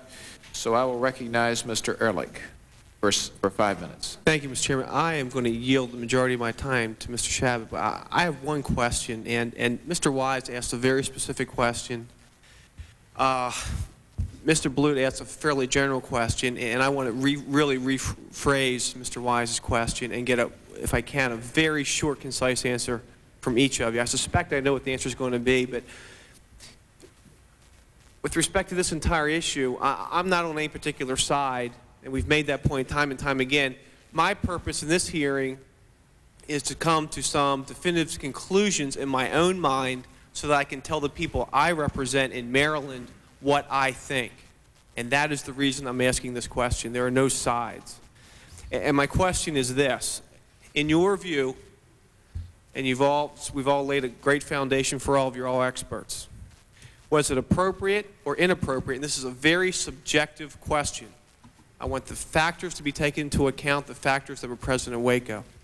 Was it appropriate or inappropriate to use CS gas in the levels you understand were utilized in light of the totality of circumstances, knowing one, infants were present, and two, the agent was to be delivered at least to some extent within confined spaces. It's a very specific question. I'd ask for a very short answer from each of you. Appropriate or inappropriate? Dr. Stone. I think not appropriate. Dr. Stone, please, please, before you go on, that could not be heard by anybody, but... uh, Okay, I think it was not appropriate. Thank you, Dr. Stone. Uh, I think it was definitely not appropriate, and I just want to show the, the committee, this is a book called the Harriet Lane Handbook. It's put out by Johns Hopkins University, and it really is put out because uh, pedi- pediatrics is a different kind of science. It's a manual of pediatric house officers. And if the gentleman, gentleman for England were correct, we would need no manual such as this. Thank you. Thank you, sir. Inappropriate. Uh, Dr. Rice? Uh, it's a tough question to a- answer. Uh, I think if you can create the concentration in the building uh, that has the desired effect, then yes, it is appropriate, but it is an operational consideration and it's a balance between risk and benefit, and I don't think there is a simple answer to your question. Thank you, sir. Very, very, I- I very, agree very honest answer. Sorry, I would agree entirely with that. It's a balance of risk and benefit, and it's an operational decision at the concentrations that you would require to receive in order to, uh, into, to move people out of those buildings. Thank you, sir. Uh, Dr. Uhlig? I would say no, judging from the, uh, from a chemical standpoint and from the reaction of my uh, research assistant when she accidentally got into contact with the stuff. I don't think it's appropriate. Thank you, sir. Uh, Mr. Parks? Congressman, if you saw my high school and college chemistry grades, you would be assured I am not an expert on how to employ them. I assure you mine were far worse. Uh, and I can't answer this question. Thank you, sir. I appreciate each of you giving an opinion as to really what is the bottom line issue with respect to this hearing. Thank you very much. I yield my time. I, I thank the gentleman. Uh, Dr. Stone, you were asked by the Attorney, Deputy Attorney General to help prepare this report for the Justice Department, correct? You see, there are two reports. There's the investigative report. Excuse me. What I think what you're holding up is the investigative report. That was done by the Justice Department. Then there are these smaller reports, which I was asked. Okay, but it was the Justice Department that asked you to Yes, to yes. prepare the report. And, and I believe, in fact, that uh, the Deputy Attorney General knew you well because I believe you two were on the Harvard faculty together? Absolutely, yes. Okay. Now, I, I'm disturbed that, that in your written statement, uh, you report that when you requested documentation, uh, about CS gas from the Justice Department, you were given, and I quote, ambiguous and irrelevant material. Now, do you think the Justice Department was withholding the information you needed uh, to do the job they had asked you to do, or, and maybe equally disturbing, uh, do you think uh, that the department had not done its homework, so that ambiguous or irrelevant material was all they had? Uh, I asked for, uh, as I said earlier, I was concerned about what information had convinced Attorney General Reno to change her mind. So uh, I was told that she had had a conversation with Harry Salem, and that had been important. So I said, would you please tell me what she was told? I then got a document that was uh, incoherent, incomprehensible, and I cannot tell you, I've been asked by many people, well, what did it say? It, it doesn't say anything. Okay, thank you. Uh, and finally, Doctor, um, I know you've been here a long time, as we all have, uh, and, but you've studied this matter intensively uh, at the request of the Justice Department, uh, and you've, I'm sure, given it a lot of thought. Uh, because a central purpose of these hearings is to make sure that we've learned as much as possible from the mistakes that were made. Um, let me ask you what one or two points you think it would be most important for all of us to learn from this terrible tragedy. Well, I think the first most important point ought to be that we have different rules of engagement when po police or other law enforcement are dealing with children, right? There ought to be a red flag go up. And they would say, okay, whatever we do ordinarily, there are different risks and benefits when there are children. That's the first thing we ought to do. The second thing we ought to do, since, as Mr. Wise has, Congressman Wise has pointed out, since police all over America are now using CS gas, we ought to find out whether it really harms children in the ways that I think it does. Because if we don't, if even one child more dies from this, and I've read reports of children who died from it, uh, of adults, of children who died from it in, other countries, and they were actually studies, although um, um, it was said that they were not physicians. One of them was my colleague, Dr. Hugh, uh, who is a, a, a, a very well-trained physician and MPH, right? So I believe this is dangerous to children. I think we should clear that up. The next thing I think we need to know is this relationship between the Attorney General and the FBI. How does that work? Who, who, who in the Attorney General's office is coordinating this stuff with the FBI. In, in my own reaction in both situations, I found the people in, in Treasury, when they first heard what I think is an incredibly incompetent, overreaching plan, the first response was they said no. Then they changed their mind. I'd like to know why they changed their mind. It's the same thing with Janet Reno. When she was given this plan of the tank and gas attack, she said no. And then somehow she changed her mind. So how these decisions were made and how they will be made in the future, it seems to me, is absolutely critical. Thank you very much, Doctor. Thank you. The time has expired. Uh, Mr. Buyer, you're recognized for five minutes. Thank you, uh, Mr. Chairman. I'd like to move into uh, the Justice Report itself on page 270. Discusses, uh, actually, excuse me, on page 266.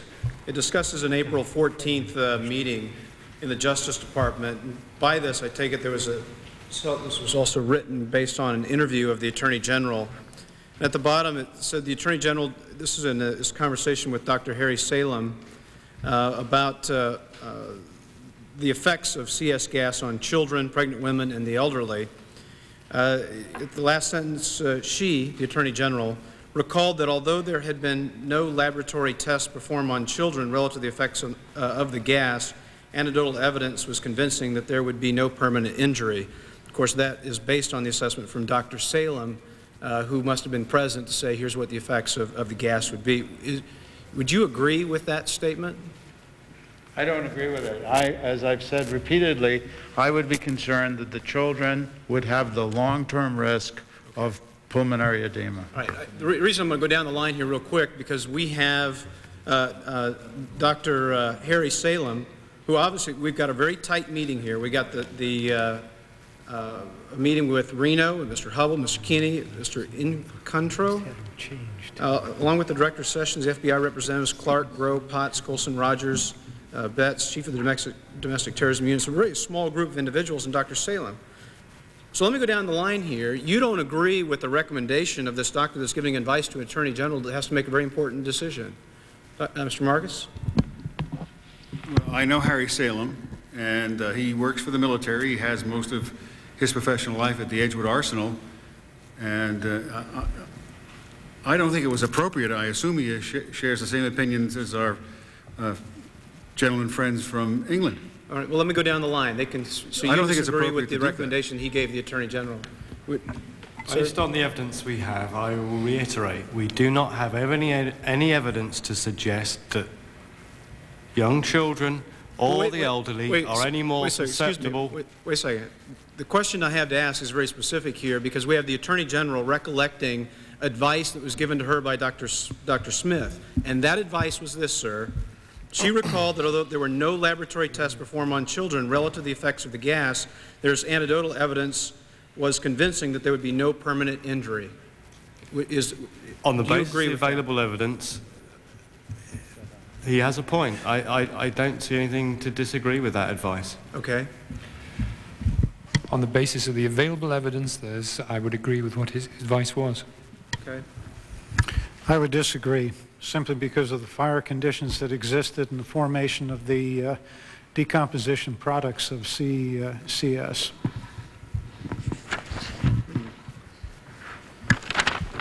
Well, it's great. We, we got the experts dis- disagreeing.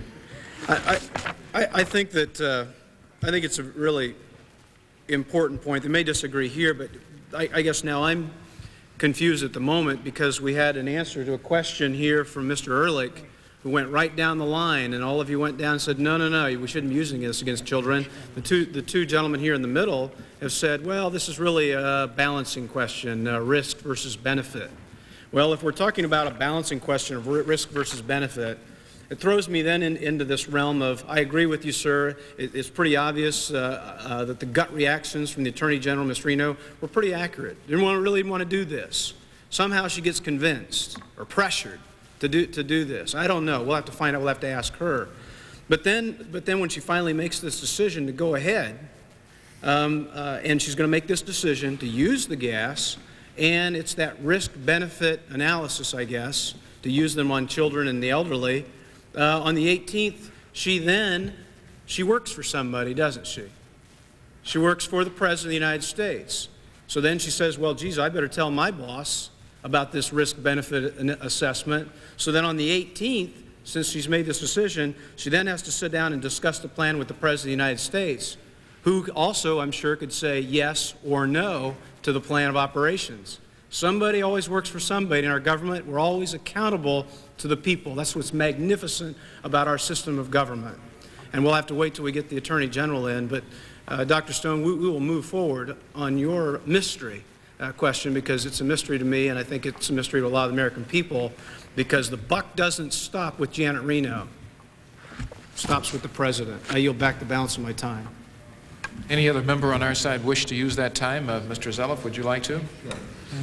I, uh, uh, first of all, I I think we, we know the, some information on Dr. Stone and where he's from, and and um, I think a few questions were asked. Uh, Dr. Rice and Dr. uh, Upshall, um, I want to just, just uh, ask you, were you involved in any consulting with the Justice Department or anybody to do with Waco whatsoever, or were you, did you just come over here on, on your own?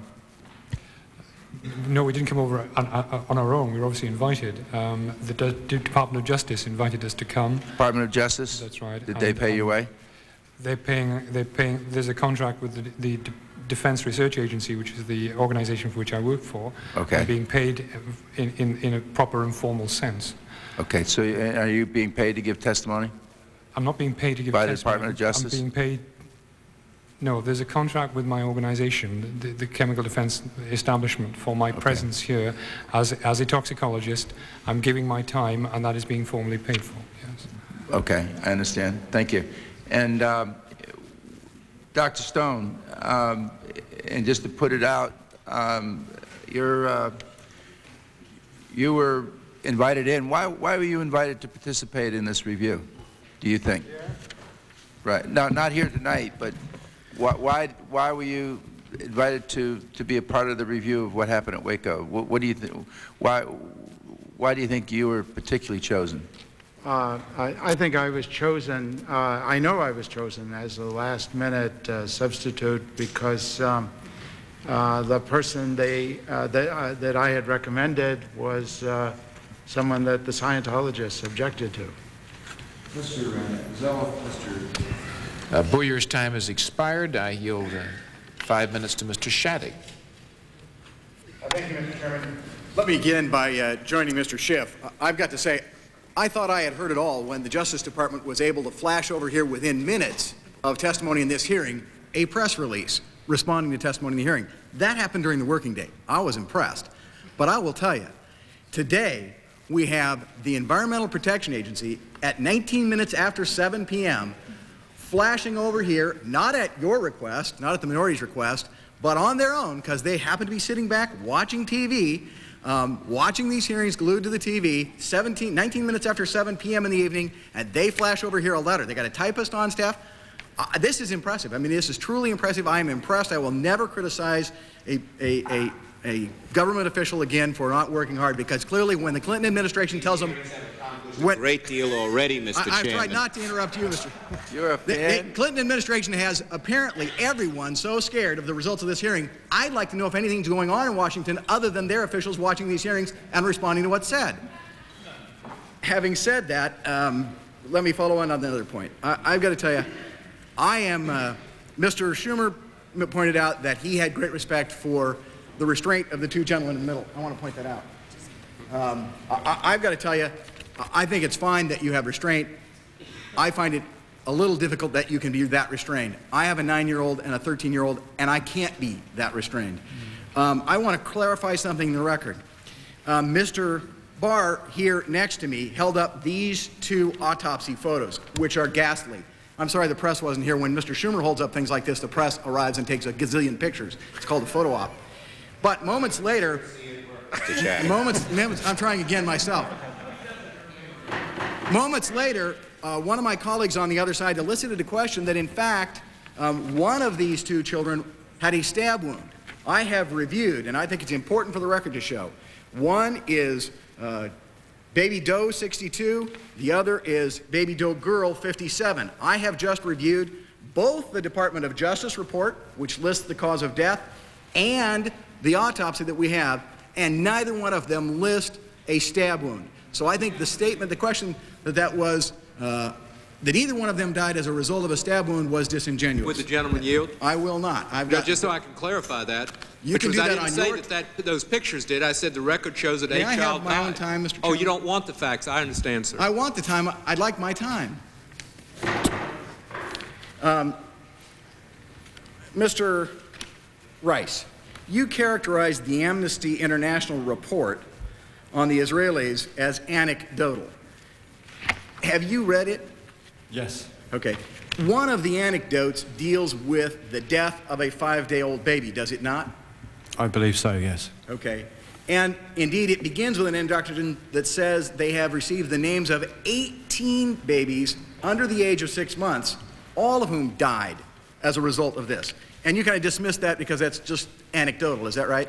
No, the point I was trying to make is that that report doesn't actually say what those babies died of. They refer to tear gas. It could be CS, it could be CN, and I think there is Well, a very distinct difference. Okay.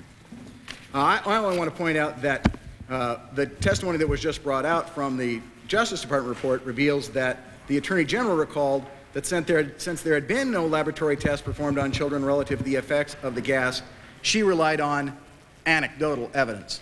I presume she was not given this anecdotal evidence of the death of these children. Um, I can't comment on that. I, I'm sure you can't. Um, I also heard you say earlier that when you did all these analyses, it was not what really happened at Waco. And I heard uh, your colleague, uh, Mr. Upshall, say uh, that what should have happened was that people should have left the compound, but they didn't leave the compound. I want to go into a question that, that troubles me. My wife and I uh, have been married for many years. Um, she has a different tolerance to medicine than I do. When I get a headache, it takes me a minimum of three aspirin, sometimes more, to knock that headache down. If my wife takes more than one aspirin, she becomes ill. I can tolerate Advil. I can tolerate two or three Advil at a time. My wife takes one Advil and she's violently ill. It's too much for her. I've experienced that in other friends. I have a good personal friend whom if he drinks a cup of coffee, he immediately goes into the shakes and can't sleep for at least 12 or 14 hours. I mean, I've watched him. It gets to him. He cannot tolerate it. Now, I drink that stuff by the bucket load every day. You've testified here today very dispassionately about how there is no evidence as to how this affects women and children differently. I want to talk about children.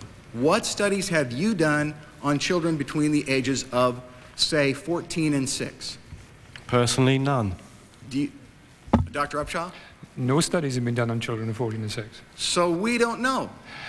I, I, would add to that, you don't know, but the reports that you have in front of you, the ones that you've just been pointing out, also do not know because all they're quoting is uh, anecdotal information that's come from an exposure uh, that took place in other countries.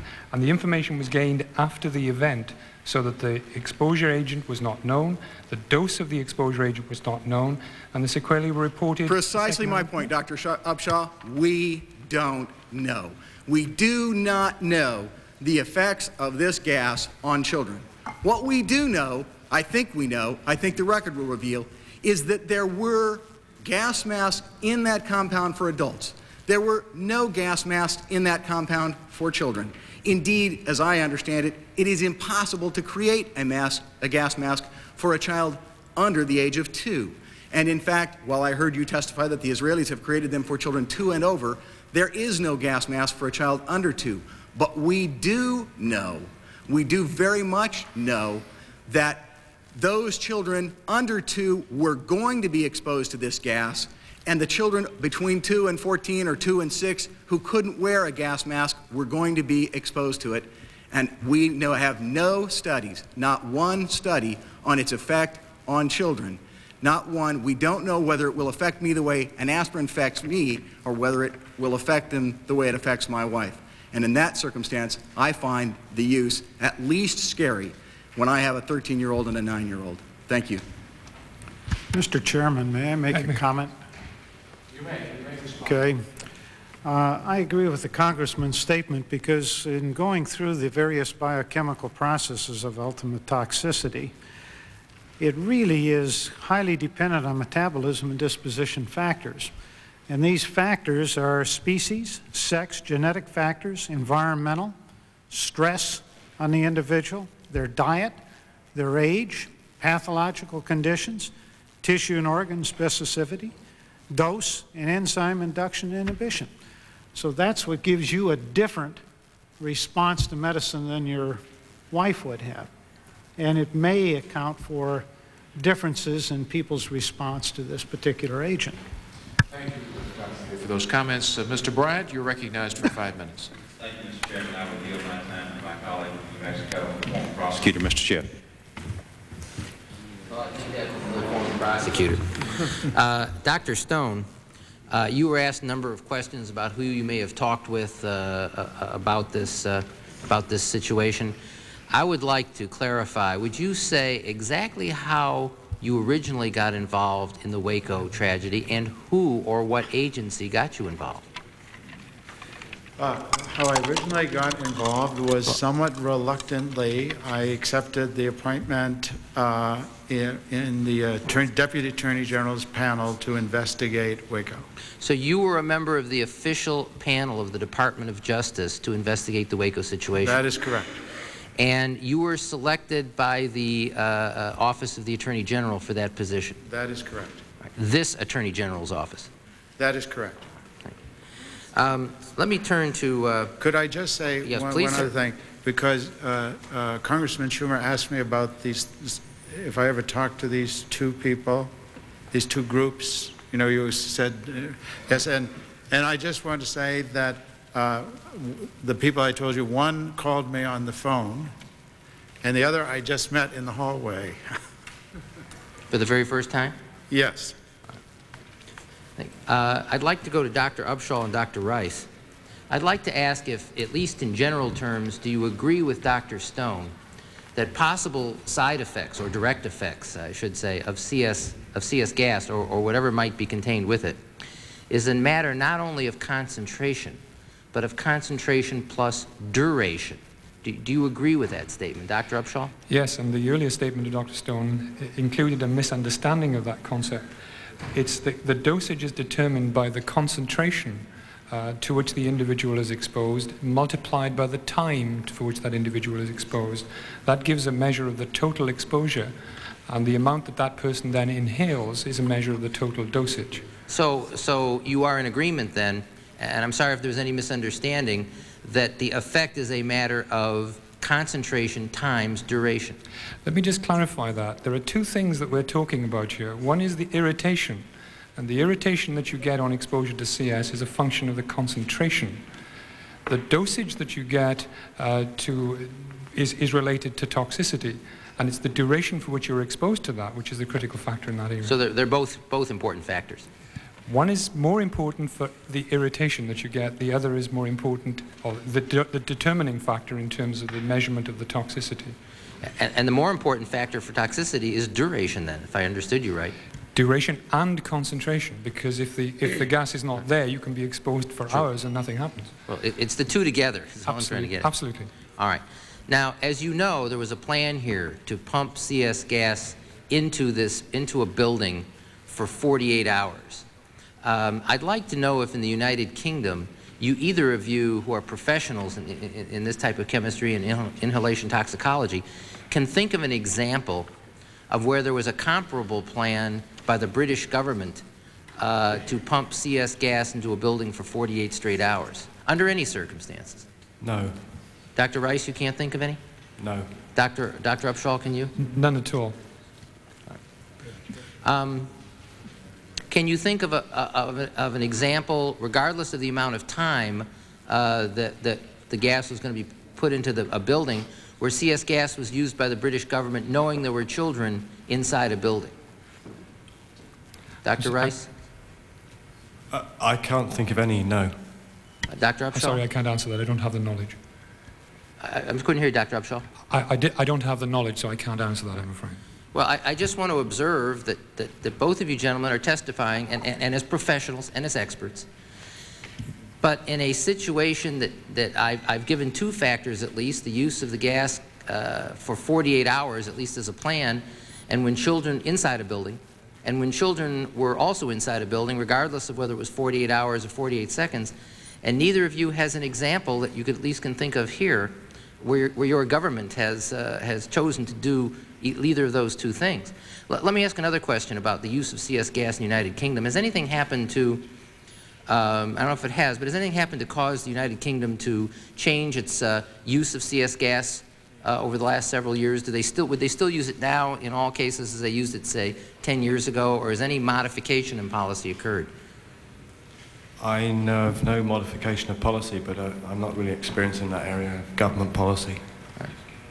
Dr. Upshall, are you aware of I, I would change? agree with that entirely. We're not knowledgeable in the area of government policy, but we're not aware of any change. All right.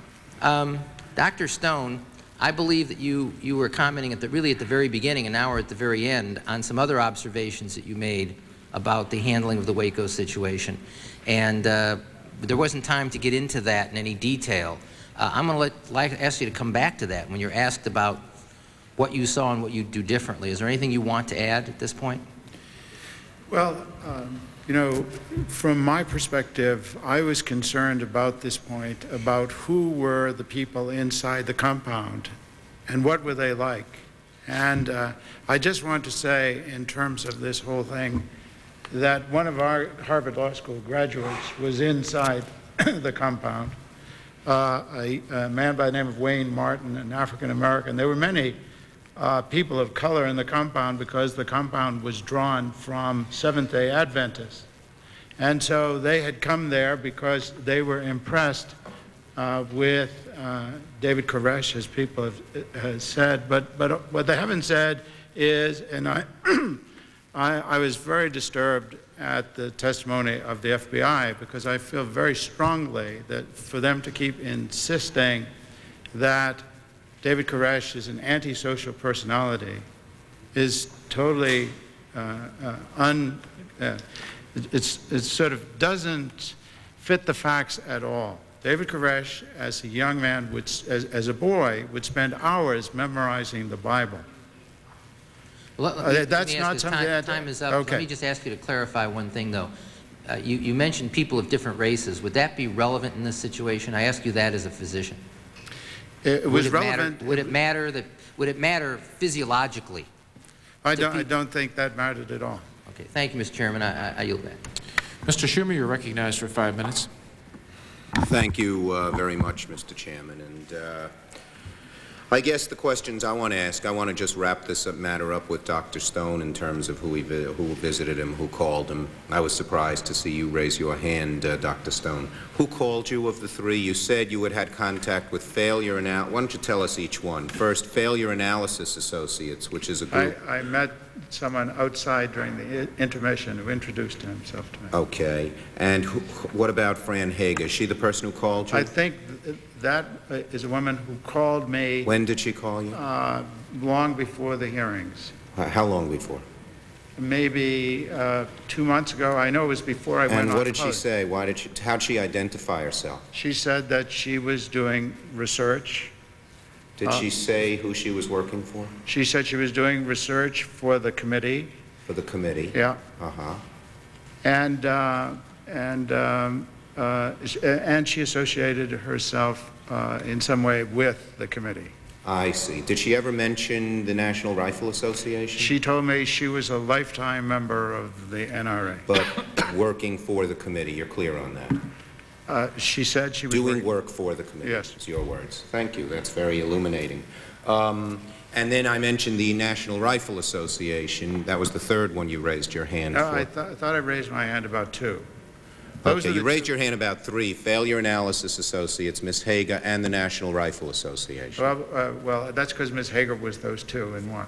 I see. Okay, you learned that. Because she was a lifetime member doesn't mean she's working for them necessarily. Ah, well. Okay, you wanted to just be sure, and I appreciate that. I, I didn't want to leave anything out. No stone unturned. Unturned, right. Uh, I've gotten that many times, Congressman. In any case, okay. Please, we heard even a worse joke from the staff. Um, I guess my next, I, I'd just like to make a comment here, and this is my own opinion, and as usual, it's somewhat pointed, let's say. Um, he, I, you know, we've heard many in modern day America decry, quote, moral relativism, which means that every opinion has equal weight, even those that are morally superior to others. I find this panel an example of that, and I'm saddened by it. With no offense to any members of the panel, we have two people here, Dr. Rice and Dr. Upshall, who are world experts, renowned throughout the world in this subject of CS tear gas. We have two people, Dr. Uhlig and Mr. Marcus, very capable people in their own right, who by their own admission are not experts in this subject. Neither has published a single article on the issue of CS tear gas.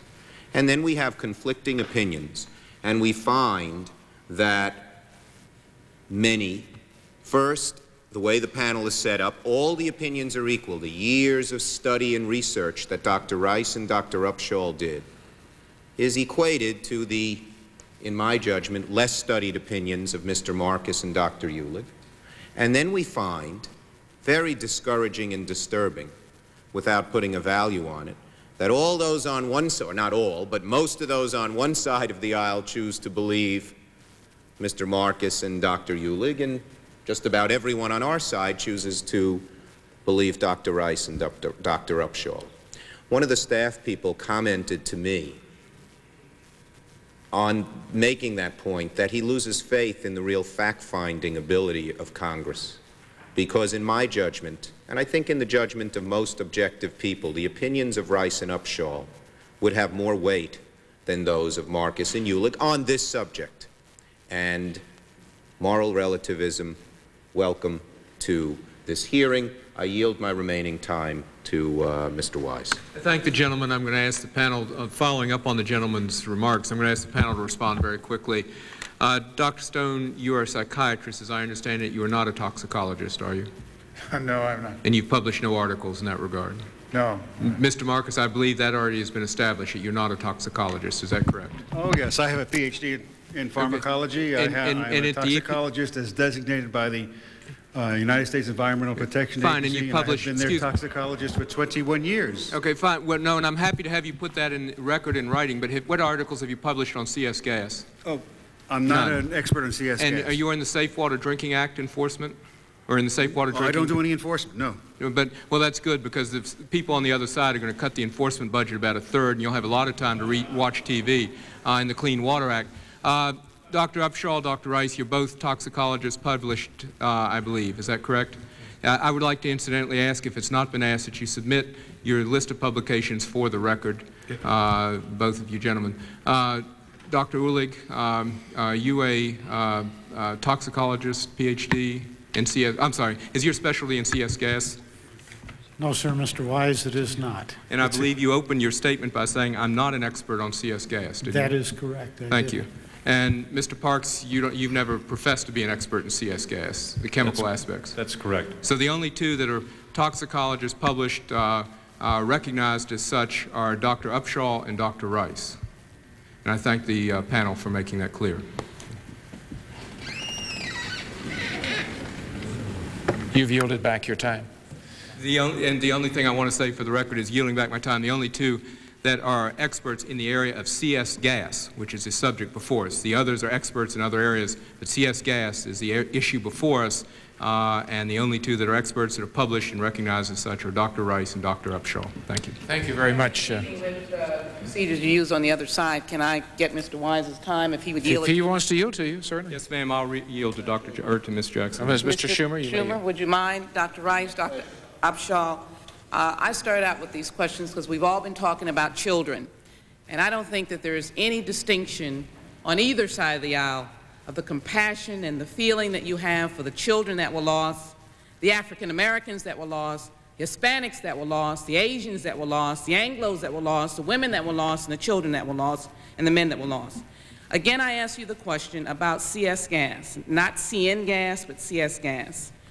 If there were holes put in or doors opened and we don't have all the facts, would the CS gas, as you understand it and your study determined, immobilized mothers with children or children such that they could not find an exit to get out, which all of us prayed that they would have been able to do?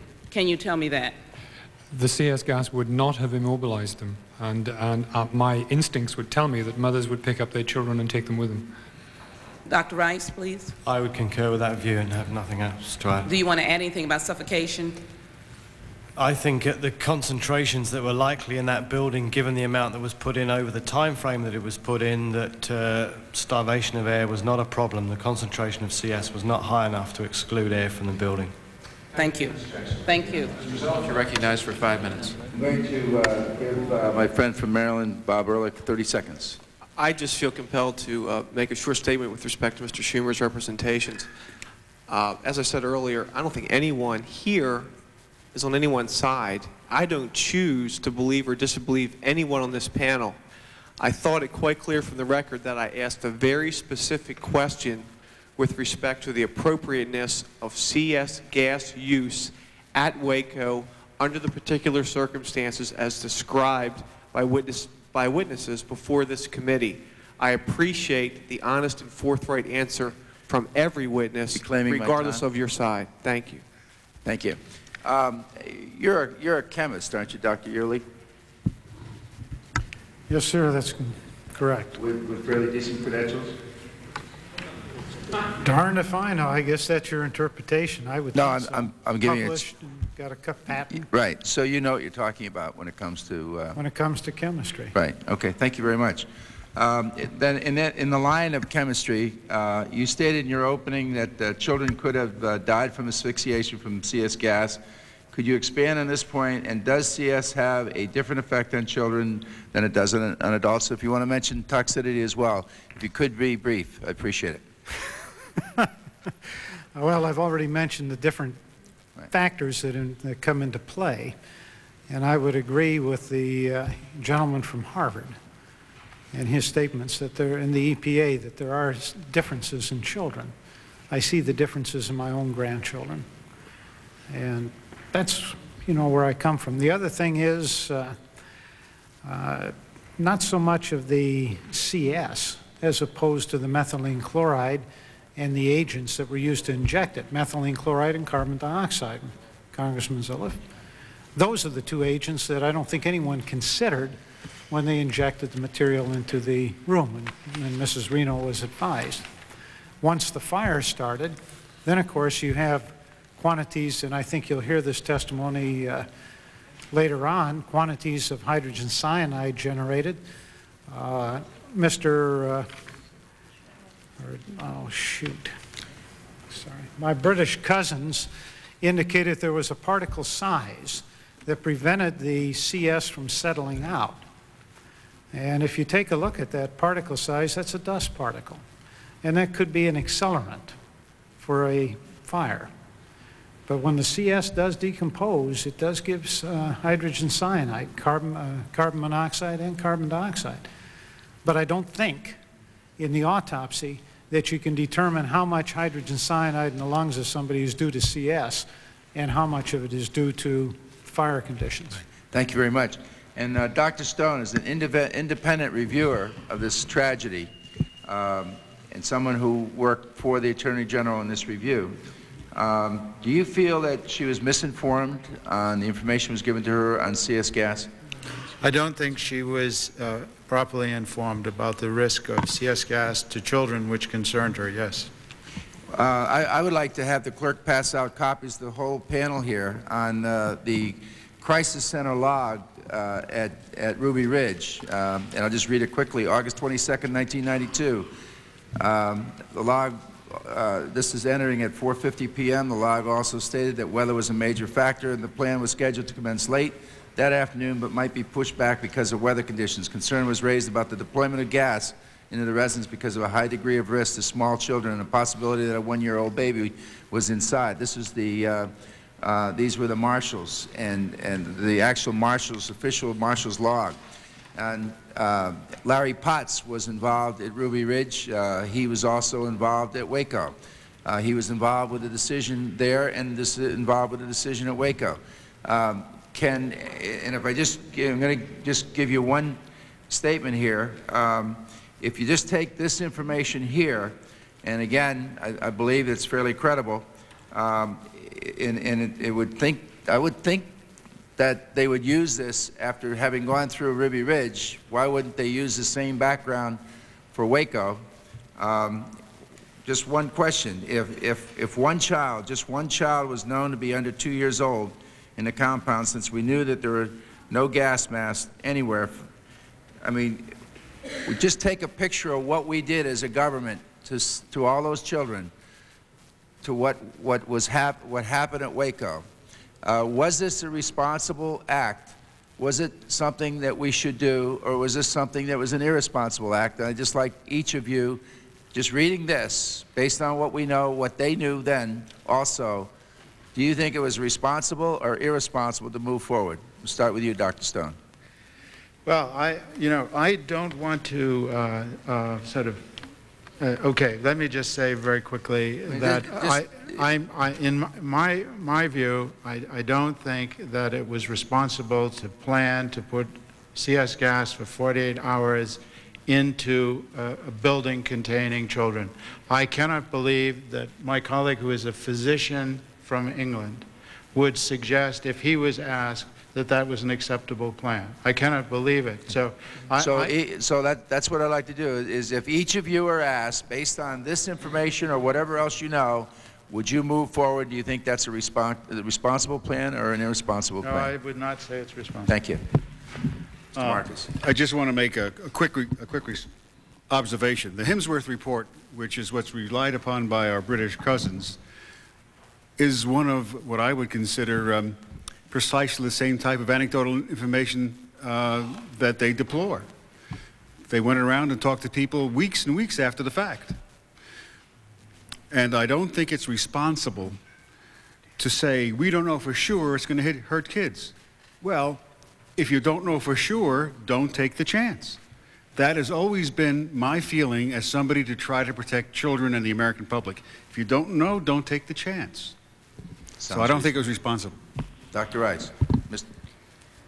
I think, given the circumstances, uh, as I said before, if it's an operational decision uh, that the actual risk of doing harm is balanced by the benefit of going in, then I wouldn't have a problem. So if, if you were that person that was making that decision, you would go ahead and do it? If that were my, if those were my children in there and they'd gone through all that we understand that they'd gone through uh, during the siege, then I think if you could maintain the concentration sufficient to have an effect, then yes, I'd go ahead. You'd, you'd go ahead with your own children? Yes. That's amazing. Dr. Upshall? I, I would agree with that. Uh, furthermore, I would say that the information in the Himsworth report is not anecdotal. Um, the committee investigated all the major hospitals in, in the area at the time, and a massive information was collected uh, on the consequences of that specific event. Dr. Early? I don't feel it was responsible. I wouldn't be here now if that were the case. And just to show that there isn't any bipartisanship here, I happen to serve on the Democratic committee in probably the only county in a Republican state that is Democratic. So I don't play the party uh, politics here. Well, I thank you for your honesty, and we would agree on our side of the aisle as well. We're, we're just trying to get at the truth. Uh, Mr. Parks? Congressman, I'm not qualified to answer that question, and I can't answer it. Okay. Well, I'll tell you what. Uh, I'm not a chemist, and I don't have a lot of papers published, but when I go home to my town meetings up in New Hampshire, um, I sure don't think I could justify our government putting in that gas in those amounts to women and children that eventually ended up in a tragedy of over 80 people. I just think I, I, it blows my mind, and I hope we get some answers in the next couple days. Thank you all very much. Can I, can I just make a comment there? That, that surely assumes that you accept that CS has killed all these people. What is the evidence for that? Well, I said I look forward to the evidence that we'll see in the next couple of days, but I, I, I go according to... Order in the House. Those are obviously conclusions that different people can draw. Mr. Hyde, you're recognized for five minutes. I thank the chair. I was watching the uh, testimony in my office, and I got a little concerned about the uh, downgrading of those uh, people who are not published on CS. Uh, I understand there have been no tests made, scientific tests of the effect of CS on infants. And if that's so, then it's pretty hard, I think, to draw uh, scientific conclusions that they were uh, not harmful. But I did hear that the use of CS could cause an infant to vomit. And if you had an infant lying on its back, his or her back, and was in, infused with this gas causing vomit, if that child couldn't turn over, if the mother wasn't right there, that child could strangle in its own vomit. Is that not so, uh, Dr. Upshall? What you say is absolutely correct. What I'm questioning is where the evidence is that the child will vomit. I've seen no evidence. No evidence that the child vomited? I have not been presented with any scientific evidence that the child will well, vomit. Well, after a it fire, is, it might be awfully hard to find that evidence. That's very true, but it doesn't allow one to presume that the child has vomited. No, but the likelihood that this could happen would be a factor in considering whether to shoot that stuff in, which is going to cause vomiting on infants who cannot protect themselves. What I'm suggesting, sir, is that there is no evidence that they vomit. I'm suggesting that this has been put forward as, a, as, as one of the signs. What is known, in fact, in humans, in adult humans, is that the incidence of vomiting is a very low incidence. It's about one But to we two. don't know about infants, do we? Absolutely, and I concur absolutely. We don't know about the infants. And so where do you give the benefit of the doubt if you have a lot of infants in a place and you really don't know? You're shooting in the dark, aren't you? As I said before, in this situation, it's an operational decision on balance of risk and benefit. There is risk. There is undoubtedly risk. Risk to the lives of infants. Risk to all lives in all these situations in But which particularly infants who cannot protect themselves. What, what I have said is there's no evidence to show that children are any more sensitive than adults.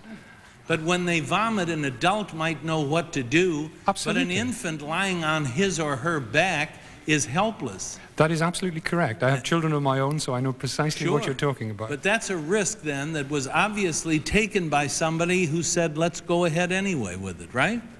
It's a risk, and one has to judge the risk and benefit in these situations, bearing in mind all the other things that are happening to the children in that compound. And both of you are, Dr. Rice and yourself, are scientists and you're experts in this field.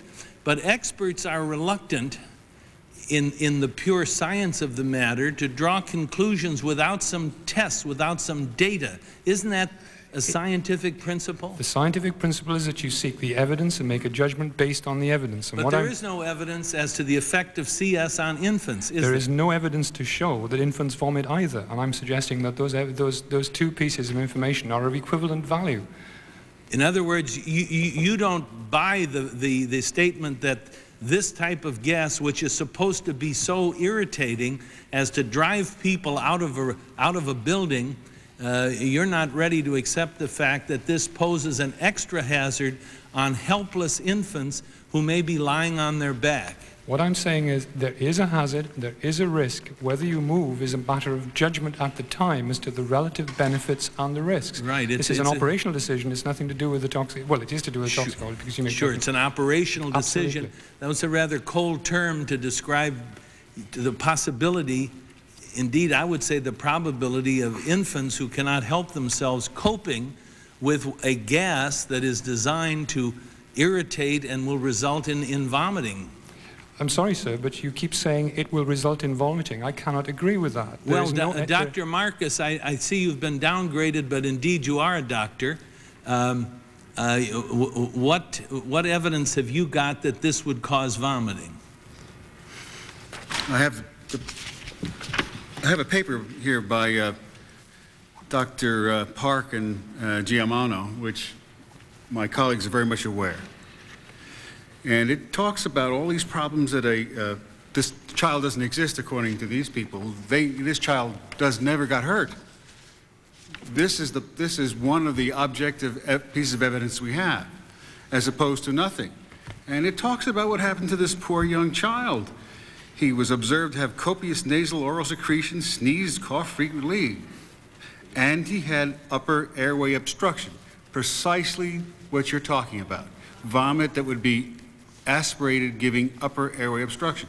I think that's, that's pretty clear. There better be no asthmatics in there, right? Uh, if there's asthmatics in there, they're in big pro- they have really big problems because the secretions they put out, um, including the mucus secretions, might plug a lot of things up quickly. All right, I thank you. Just as a matter of clarification. Yes, doctor. Nowhere in that paper does it say the child vomited. Well, uh, An excess of nasal secretions is not vomiting. Well, eh, eh, Dr. Marcus says it, it, it means vomiting, and, and I don't know if any of you are experts on vomiting. Um, I might be, because I vomited a few times in my life. I am, I am and I medically probably will again.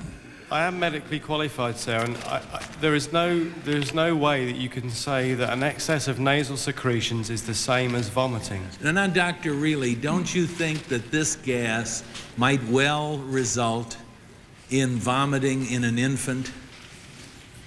From what we know, vomiting is certainly one of the effects of CS. Okay, From the that's records all. that we have, it is not a particularly common one. It is not as common as the other features that we've already described to you. like But you don't know how eyes. it affects infants, do you? Because you've no tests along those lines. Isn't that right? No, we data? haven't. But are we suggesting that we expose infants to find out more about, about this on their uh, systems? Well, I don't know. It's probably better than just saying that it was a risk benefit and it was worth taking the risk. To Because have obviously it, to it- a controlled experiment where we actually expose children to, to CS? Well, I know you wouldn't want your children exposed to CS. Not under those circumstances, no. Yeah, I- I'm sure they didn't want their children exposed either. I thank you and thank the chairman. Mr. Chairman, Mrs. Slaughter has uh, come in, and uh, I will uh, recognize you, Mrs. Slaughter, for five minutes. Thank you, Mr. Chairman. I, I want to point out that the only infant that I'm aware of on this list was one that came out five months old. A conversation later with Mrs., the real Mrs. Koresh, the married Mrs. Koresh, said that there were 20 children, didn't mention infants. And I would like to yield the rest of my time to Mr. Wise. If you would yield a minute to Mr. Schumer. Thank you. Okay, thank you. I guess Mr. Wise yielded to me. I'd just like to make one point. And uh, Chairman Hyde is correct. Henry, if I just might. Chairman Hyde is, and I have tremendous respect for him, is, is correct that if it was using the gas versus not using the gas and the children would come out and be safe, I think everyone would agree that we would not use the gas. What you had to weigh then and what we all must still have to weigh right now is that not using the gas and letting the children stay in was also had some risks. We can all debate what the percentage of those risks were. But as I said earlier today or yesterday, if Janet Reno had said, don't use the gas, let us let the siege continue, and on day 54, David Koresh decided to set fire to the compound because he believed Armageddon was here or whatever else, we would all be screaming at Janet Reno for being too cautious, too careful, that she should have gone in, and perhaps if you would have said, what was the plan of going in, they'd say, tear gas? Well, tear gas is a lot better than a conflagration. So the question is not tear gas versus not tear gas. The question is the risks of tear gas versus the risks of allowing Koresh to remain alone. A very difficult question. I yield the remainder of my time. I can't yield. It's Mr. Wise's time. Why don't you ask um, I Bill just have one request to make. One What- request, yes, sir. Thank you so much. I, I owe you one. Uh, Dr. Marcus, would you make available to the committee that monograph that you were uh, re- referring Here. to Yes. Concerning the stopped-up nasal passages? I'll add any Thank time you. necessary, Mr. Wise. Go ahead. Thank you. No, I'd rather be in Mr. Hyde's debt. Uh, uh, I thank you. Uh, let me get the, I happen to agree with what Mr. Schumer said. Are any of the panel here experts on the impact of armored vehicles uh, crashing into and having to tear down a house because you weren't able to drive the people out? Is anyone, uh, I'm asking a rhetorical question, anyone here an expert on the impact of 105 millimeter shells rained into a compound with women and children and, and people inside? I don't think so. I mean, so it's a question of in relation to what? What were the options available? Now, Dr. Upshall, uh, since you, Ms. Mr. Hyde was examining you, uh, is there any evidence that the, any of the children were killed by CS gas? None that I have seen.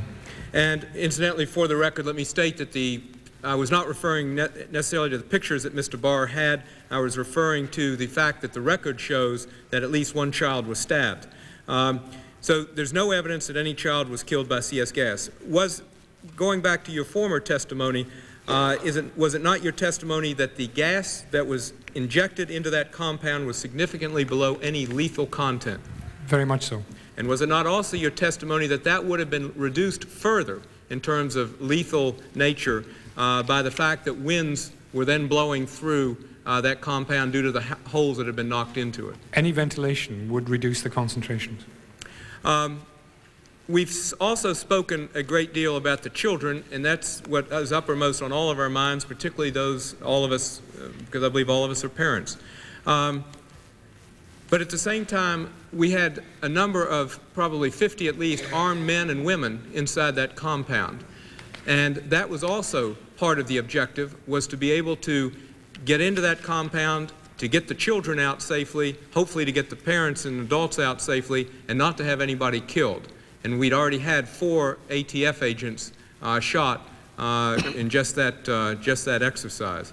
And so all of that given, uh, you've talked about risk-benefit. Do you then think that the, given what you know to be the case, both from your research and what you've heard today, did the risk uh, of injecting that gas, uh, was it commensurate with the benefit that was hoped to be obtained? From what I understand of the operational decisions, yes, I think the risk was appropriate. I just say that to the other side, which is very hot on risk-benefit analysis uh, right now in all of our legislation.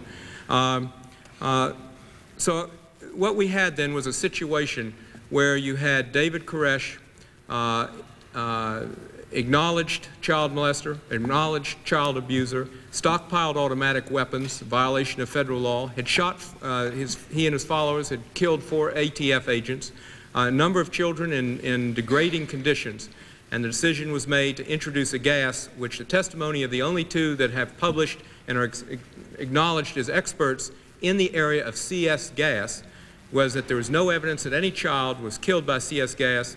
There was no, uh, the, the amount of gas introduced into that compound was below any kind of lethal content. I think you said about one-tenth of what would be considered lethal, uh, Dr. Upshall, and that that dosage was also lessened by not only time, but also by the winds, uh, whether it was 25 knots or 35 miles per hour uh, blowing through that compound. Uh, that, that was the, what the FBI faced that day. Um, I would yield back my time to Ms. Slaughter uh, and thank the panel. Well, all right. Th thank you very much. Um, I will uh, take five minutes for myself. We'll conclude this panel tonight, so we won't have to come back here. I'm sure they'll be happy about that, and so will everyone else. But I want to ask a couple of quick questions. First of all, I want to clarify something, Dr. Stone, if you could take the microphone over there. Um, in any way, did your contact with Fran Haga have any influence on your testimony here tonight? No, no. I didn't think it did.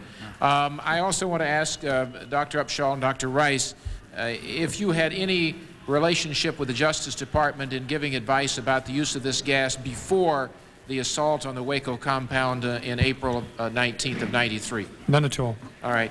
Uh, also, all. am I correct that the studies you've done on the delivery method of the CS gas uh, in, in your research was primarily through the incendiary device?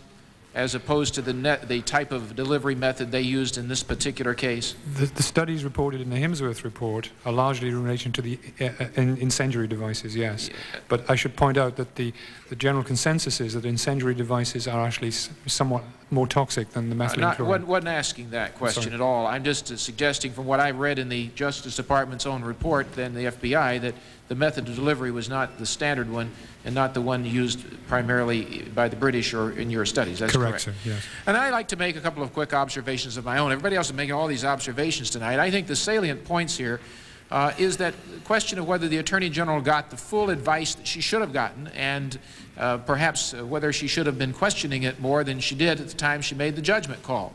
Uh, it seems to me pretty apparent that she got some narrow advice. We haven't heard uh, except from what Dr. Stone has been able to tell us, because he's the only one on the panel here who had any experience with this and was involved in overviewing the investigation uh, of the advice itself. We're going to get that testimony and all about what she did get, both from her and from others, coming up in future panels. But based upon what I've heard tonight, uh, while there is certainly a conflicting opinion, I think that everybody here at this panel is an expert not necessarily having done the studies that Dr. Upshall and Dr. Rice did under their peculiar conditions on CS gas, but that nobody else I guess, has, really. But we have an eminent toxicologist from the Environmental Protection Agency who spent a lot of time studying this, and Dr. Marcus, uh, who gave us what sounded to me uh, very, very good scientific uh, opinions, obviously somewhat in conflict with the uh, two British.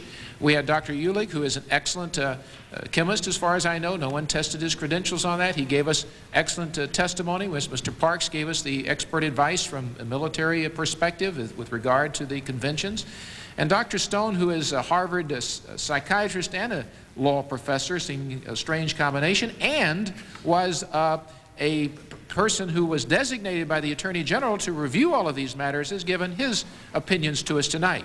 And I might add that with the exception of our two British guests who were brought over here by the Justice Department, uh, and of course Mr. Parks, who does not have a, a, perspective on the technical part of this, the others uh, concluded that they would not have uh, used this gas under this circumstance with children present for the potential possibility of vomiting, for the potential possibility of asphyxiation, and we know that there were younger children who did die of asphyxiation, whether it was from the fire or whether it was from the CS gas, I don't think we'll ever know. Or whether they ever vomited, we won't ever know. The problem is not for us to decide that. The problem is for us to decide whether or not the judgments that were being made at the time were being made with the best evidence available, whether the people giving the advice to the Attorney General uh, exercised prudent judgment in deciding what was to be given to her or not, whether she was given enough, and whether or not when she got it she should have questioned and asked for more under the circumstances. Those are the questions, and we don't have all of those answers tonight, but your input has been very meaningful. I want to thank you. In concluding, I've got to ask one last question of you, Dr. Stone. You left a very pregnant answer on the table. You were asked and then cut off about a question related to your opinion, as I presume as a psychiatrist and as a reviewer of the facts by the Attorney General's designation of the whole question of the FBI's handling uh, of David Koresh in terms of his, uh, I guess, his antisocial behavior. Would you, at least as we walk out of here tonight, uh, clarify that so we don't have telephone calls ringing off our phones tomorrow that we didn't give you a chance to respond to that? Yes, the question was whether he was an antisocial personality disorder and therefore he could be treated like an ordinary criminal, as I, I, believe the FBI testified today and as they said at the briefing. Now, there isn't any doubt that the, I and the other psychiatrists who reviewed this information did not think that he was an antisocial personality disorder. He may have had some other disorder, but he certainly was not that. And it was a mistake to think that he would react like a common criminal would react to a show of force. Thank you very much. I appreciate the testimony that everybody gave. You've been well to endure us tonight. Uh, these uh, hearings will then, therefore, be recessed until tomorrow morning. You have a point of order? Inquiry. Procedural inquiry. I'm about to tell you when tomorrow, but go ahead. All right. I simply want to ask, in terms of the final focus of these hearings, meaning whether we will have findings and then maybe corrective actions. I just want to be assured, I'm a new member, that out of the testimony that we've gotten, which has obviously been conflicting, will we not have findings which may in fact suggest uh, that this CS gas did not prohibit people from getting out. That's a finding. Well, but well, we also Ms. have... Jackson Lee, let me talk about the procedure. If I can cut you off, we've got to go vote. And I don't mean to be rude. But the bottom line is there will be a report issued by the committee. Uh, you will have will an opportunity. Have you will have an opportunity. You'll have an opportunity to uh, correct it or suggest corrections to That's it. What I'd and like you will also know. have an Findings opportunity to issue minority views if you disagree with it. I so those opportunities that. ultimately at Thank the end you. of the day will be there for you. This uh, joint subcommittee hearing on, on the Waco will commence tomorrow morning at 9 a.m., not in this room, but in 2141 next door. Until then, to 9 a.m. tomorrow morning, these subcommittees are in recess. Tomorrow morning.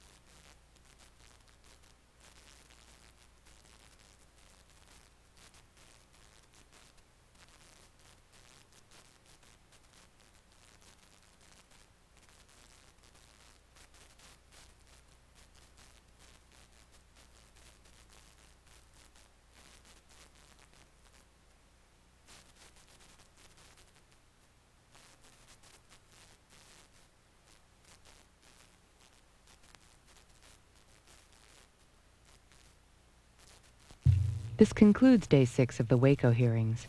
Tomorrow, see the seventh day of the hearings. Witnesses are former FBI Assistant Director Larry Potts and FBI gas experts. Each weekday, we'll re-air the House Waco hearings at 10 a.m. Eastern Time, here on C-SPAN.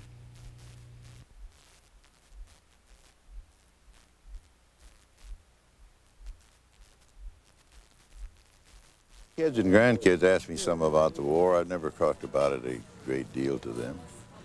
Uh, I think back about uh, the lives that were lost, the uh, limbs that were lost, uh,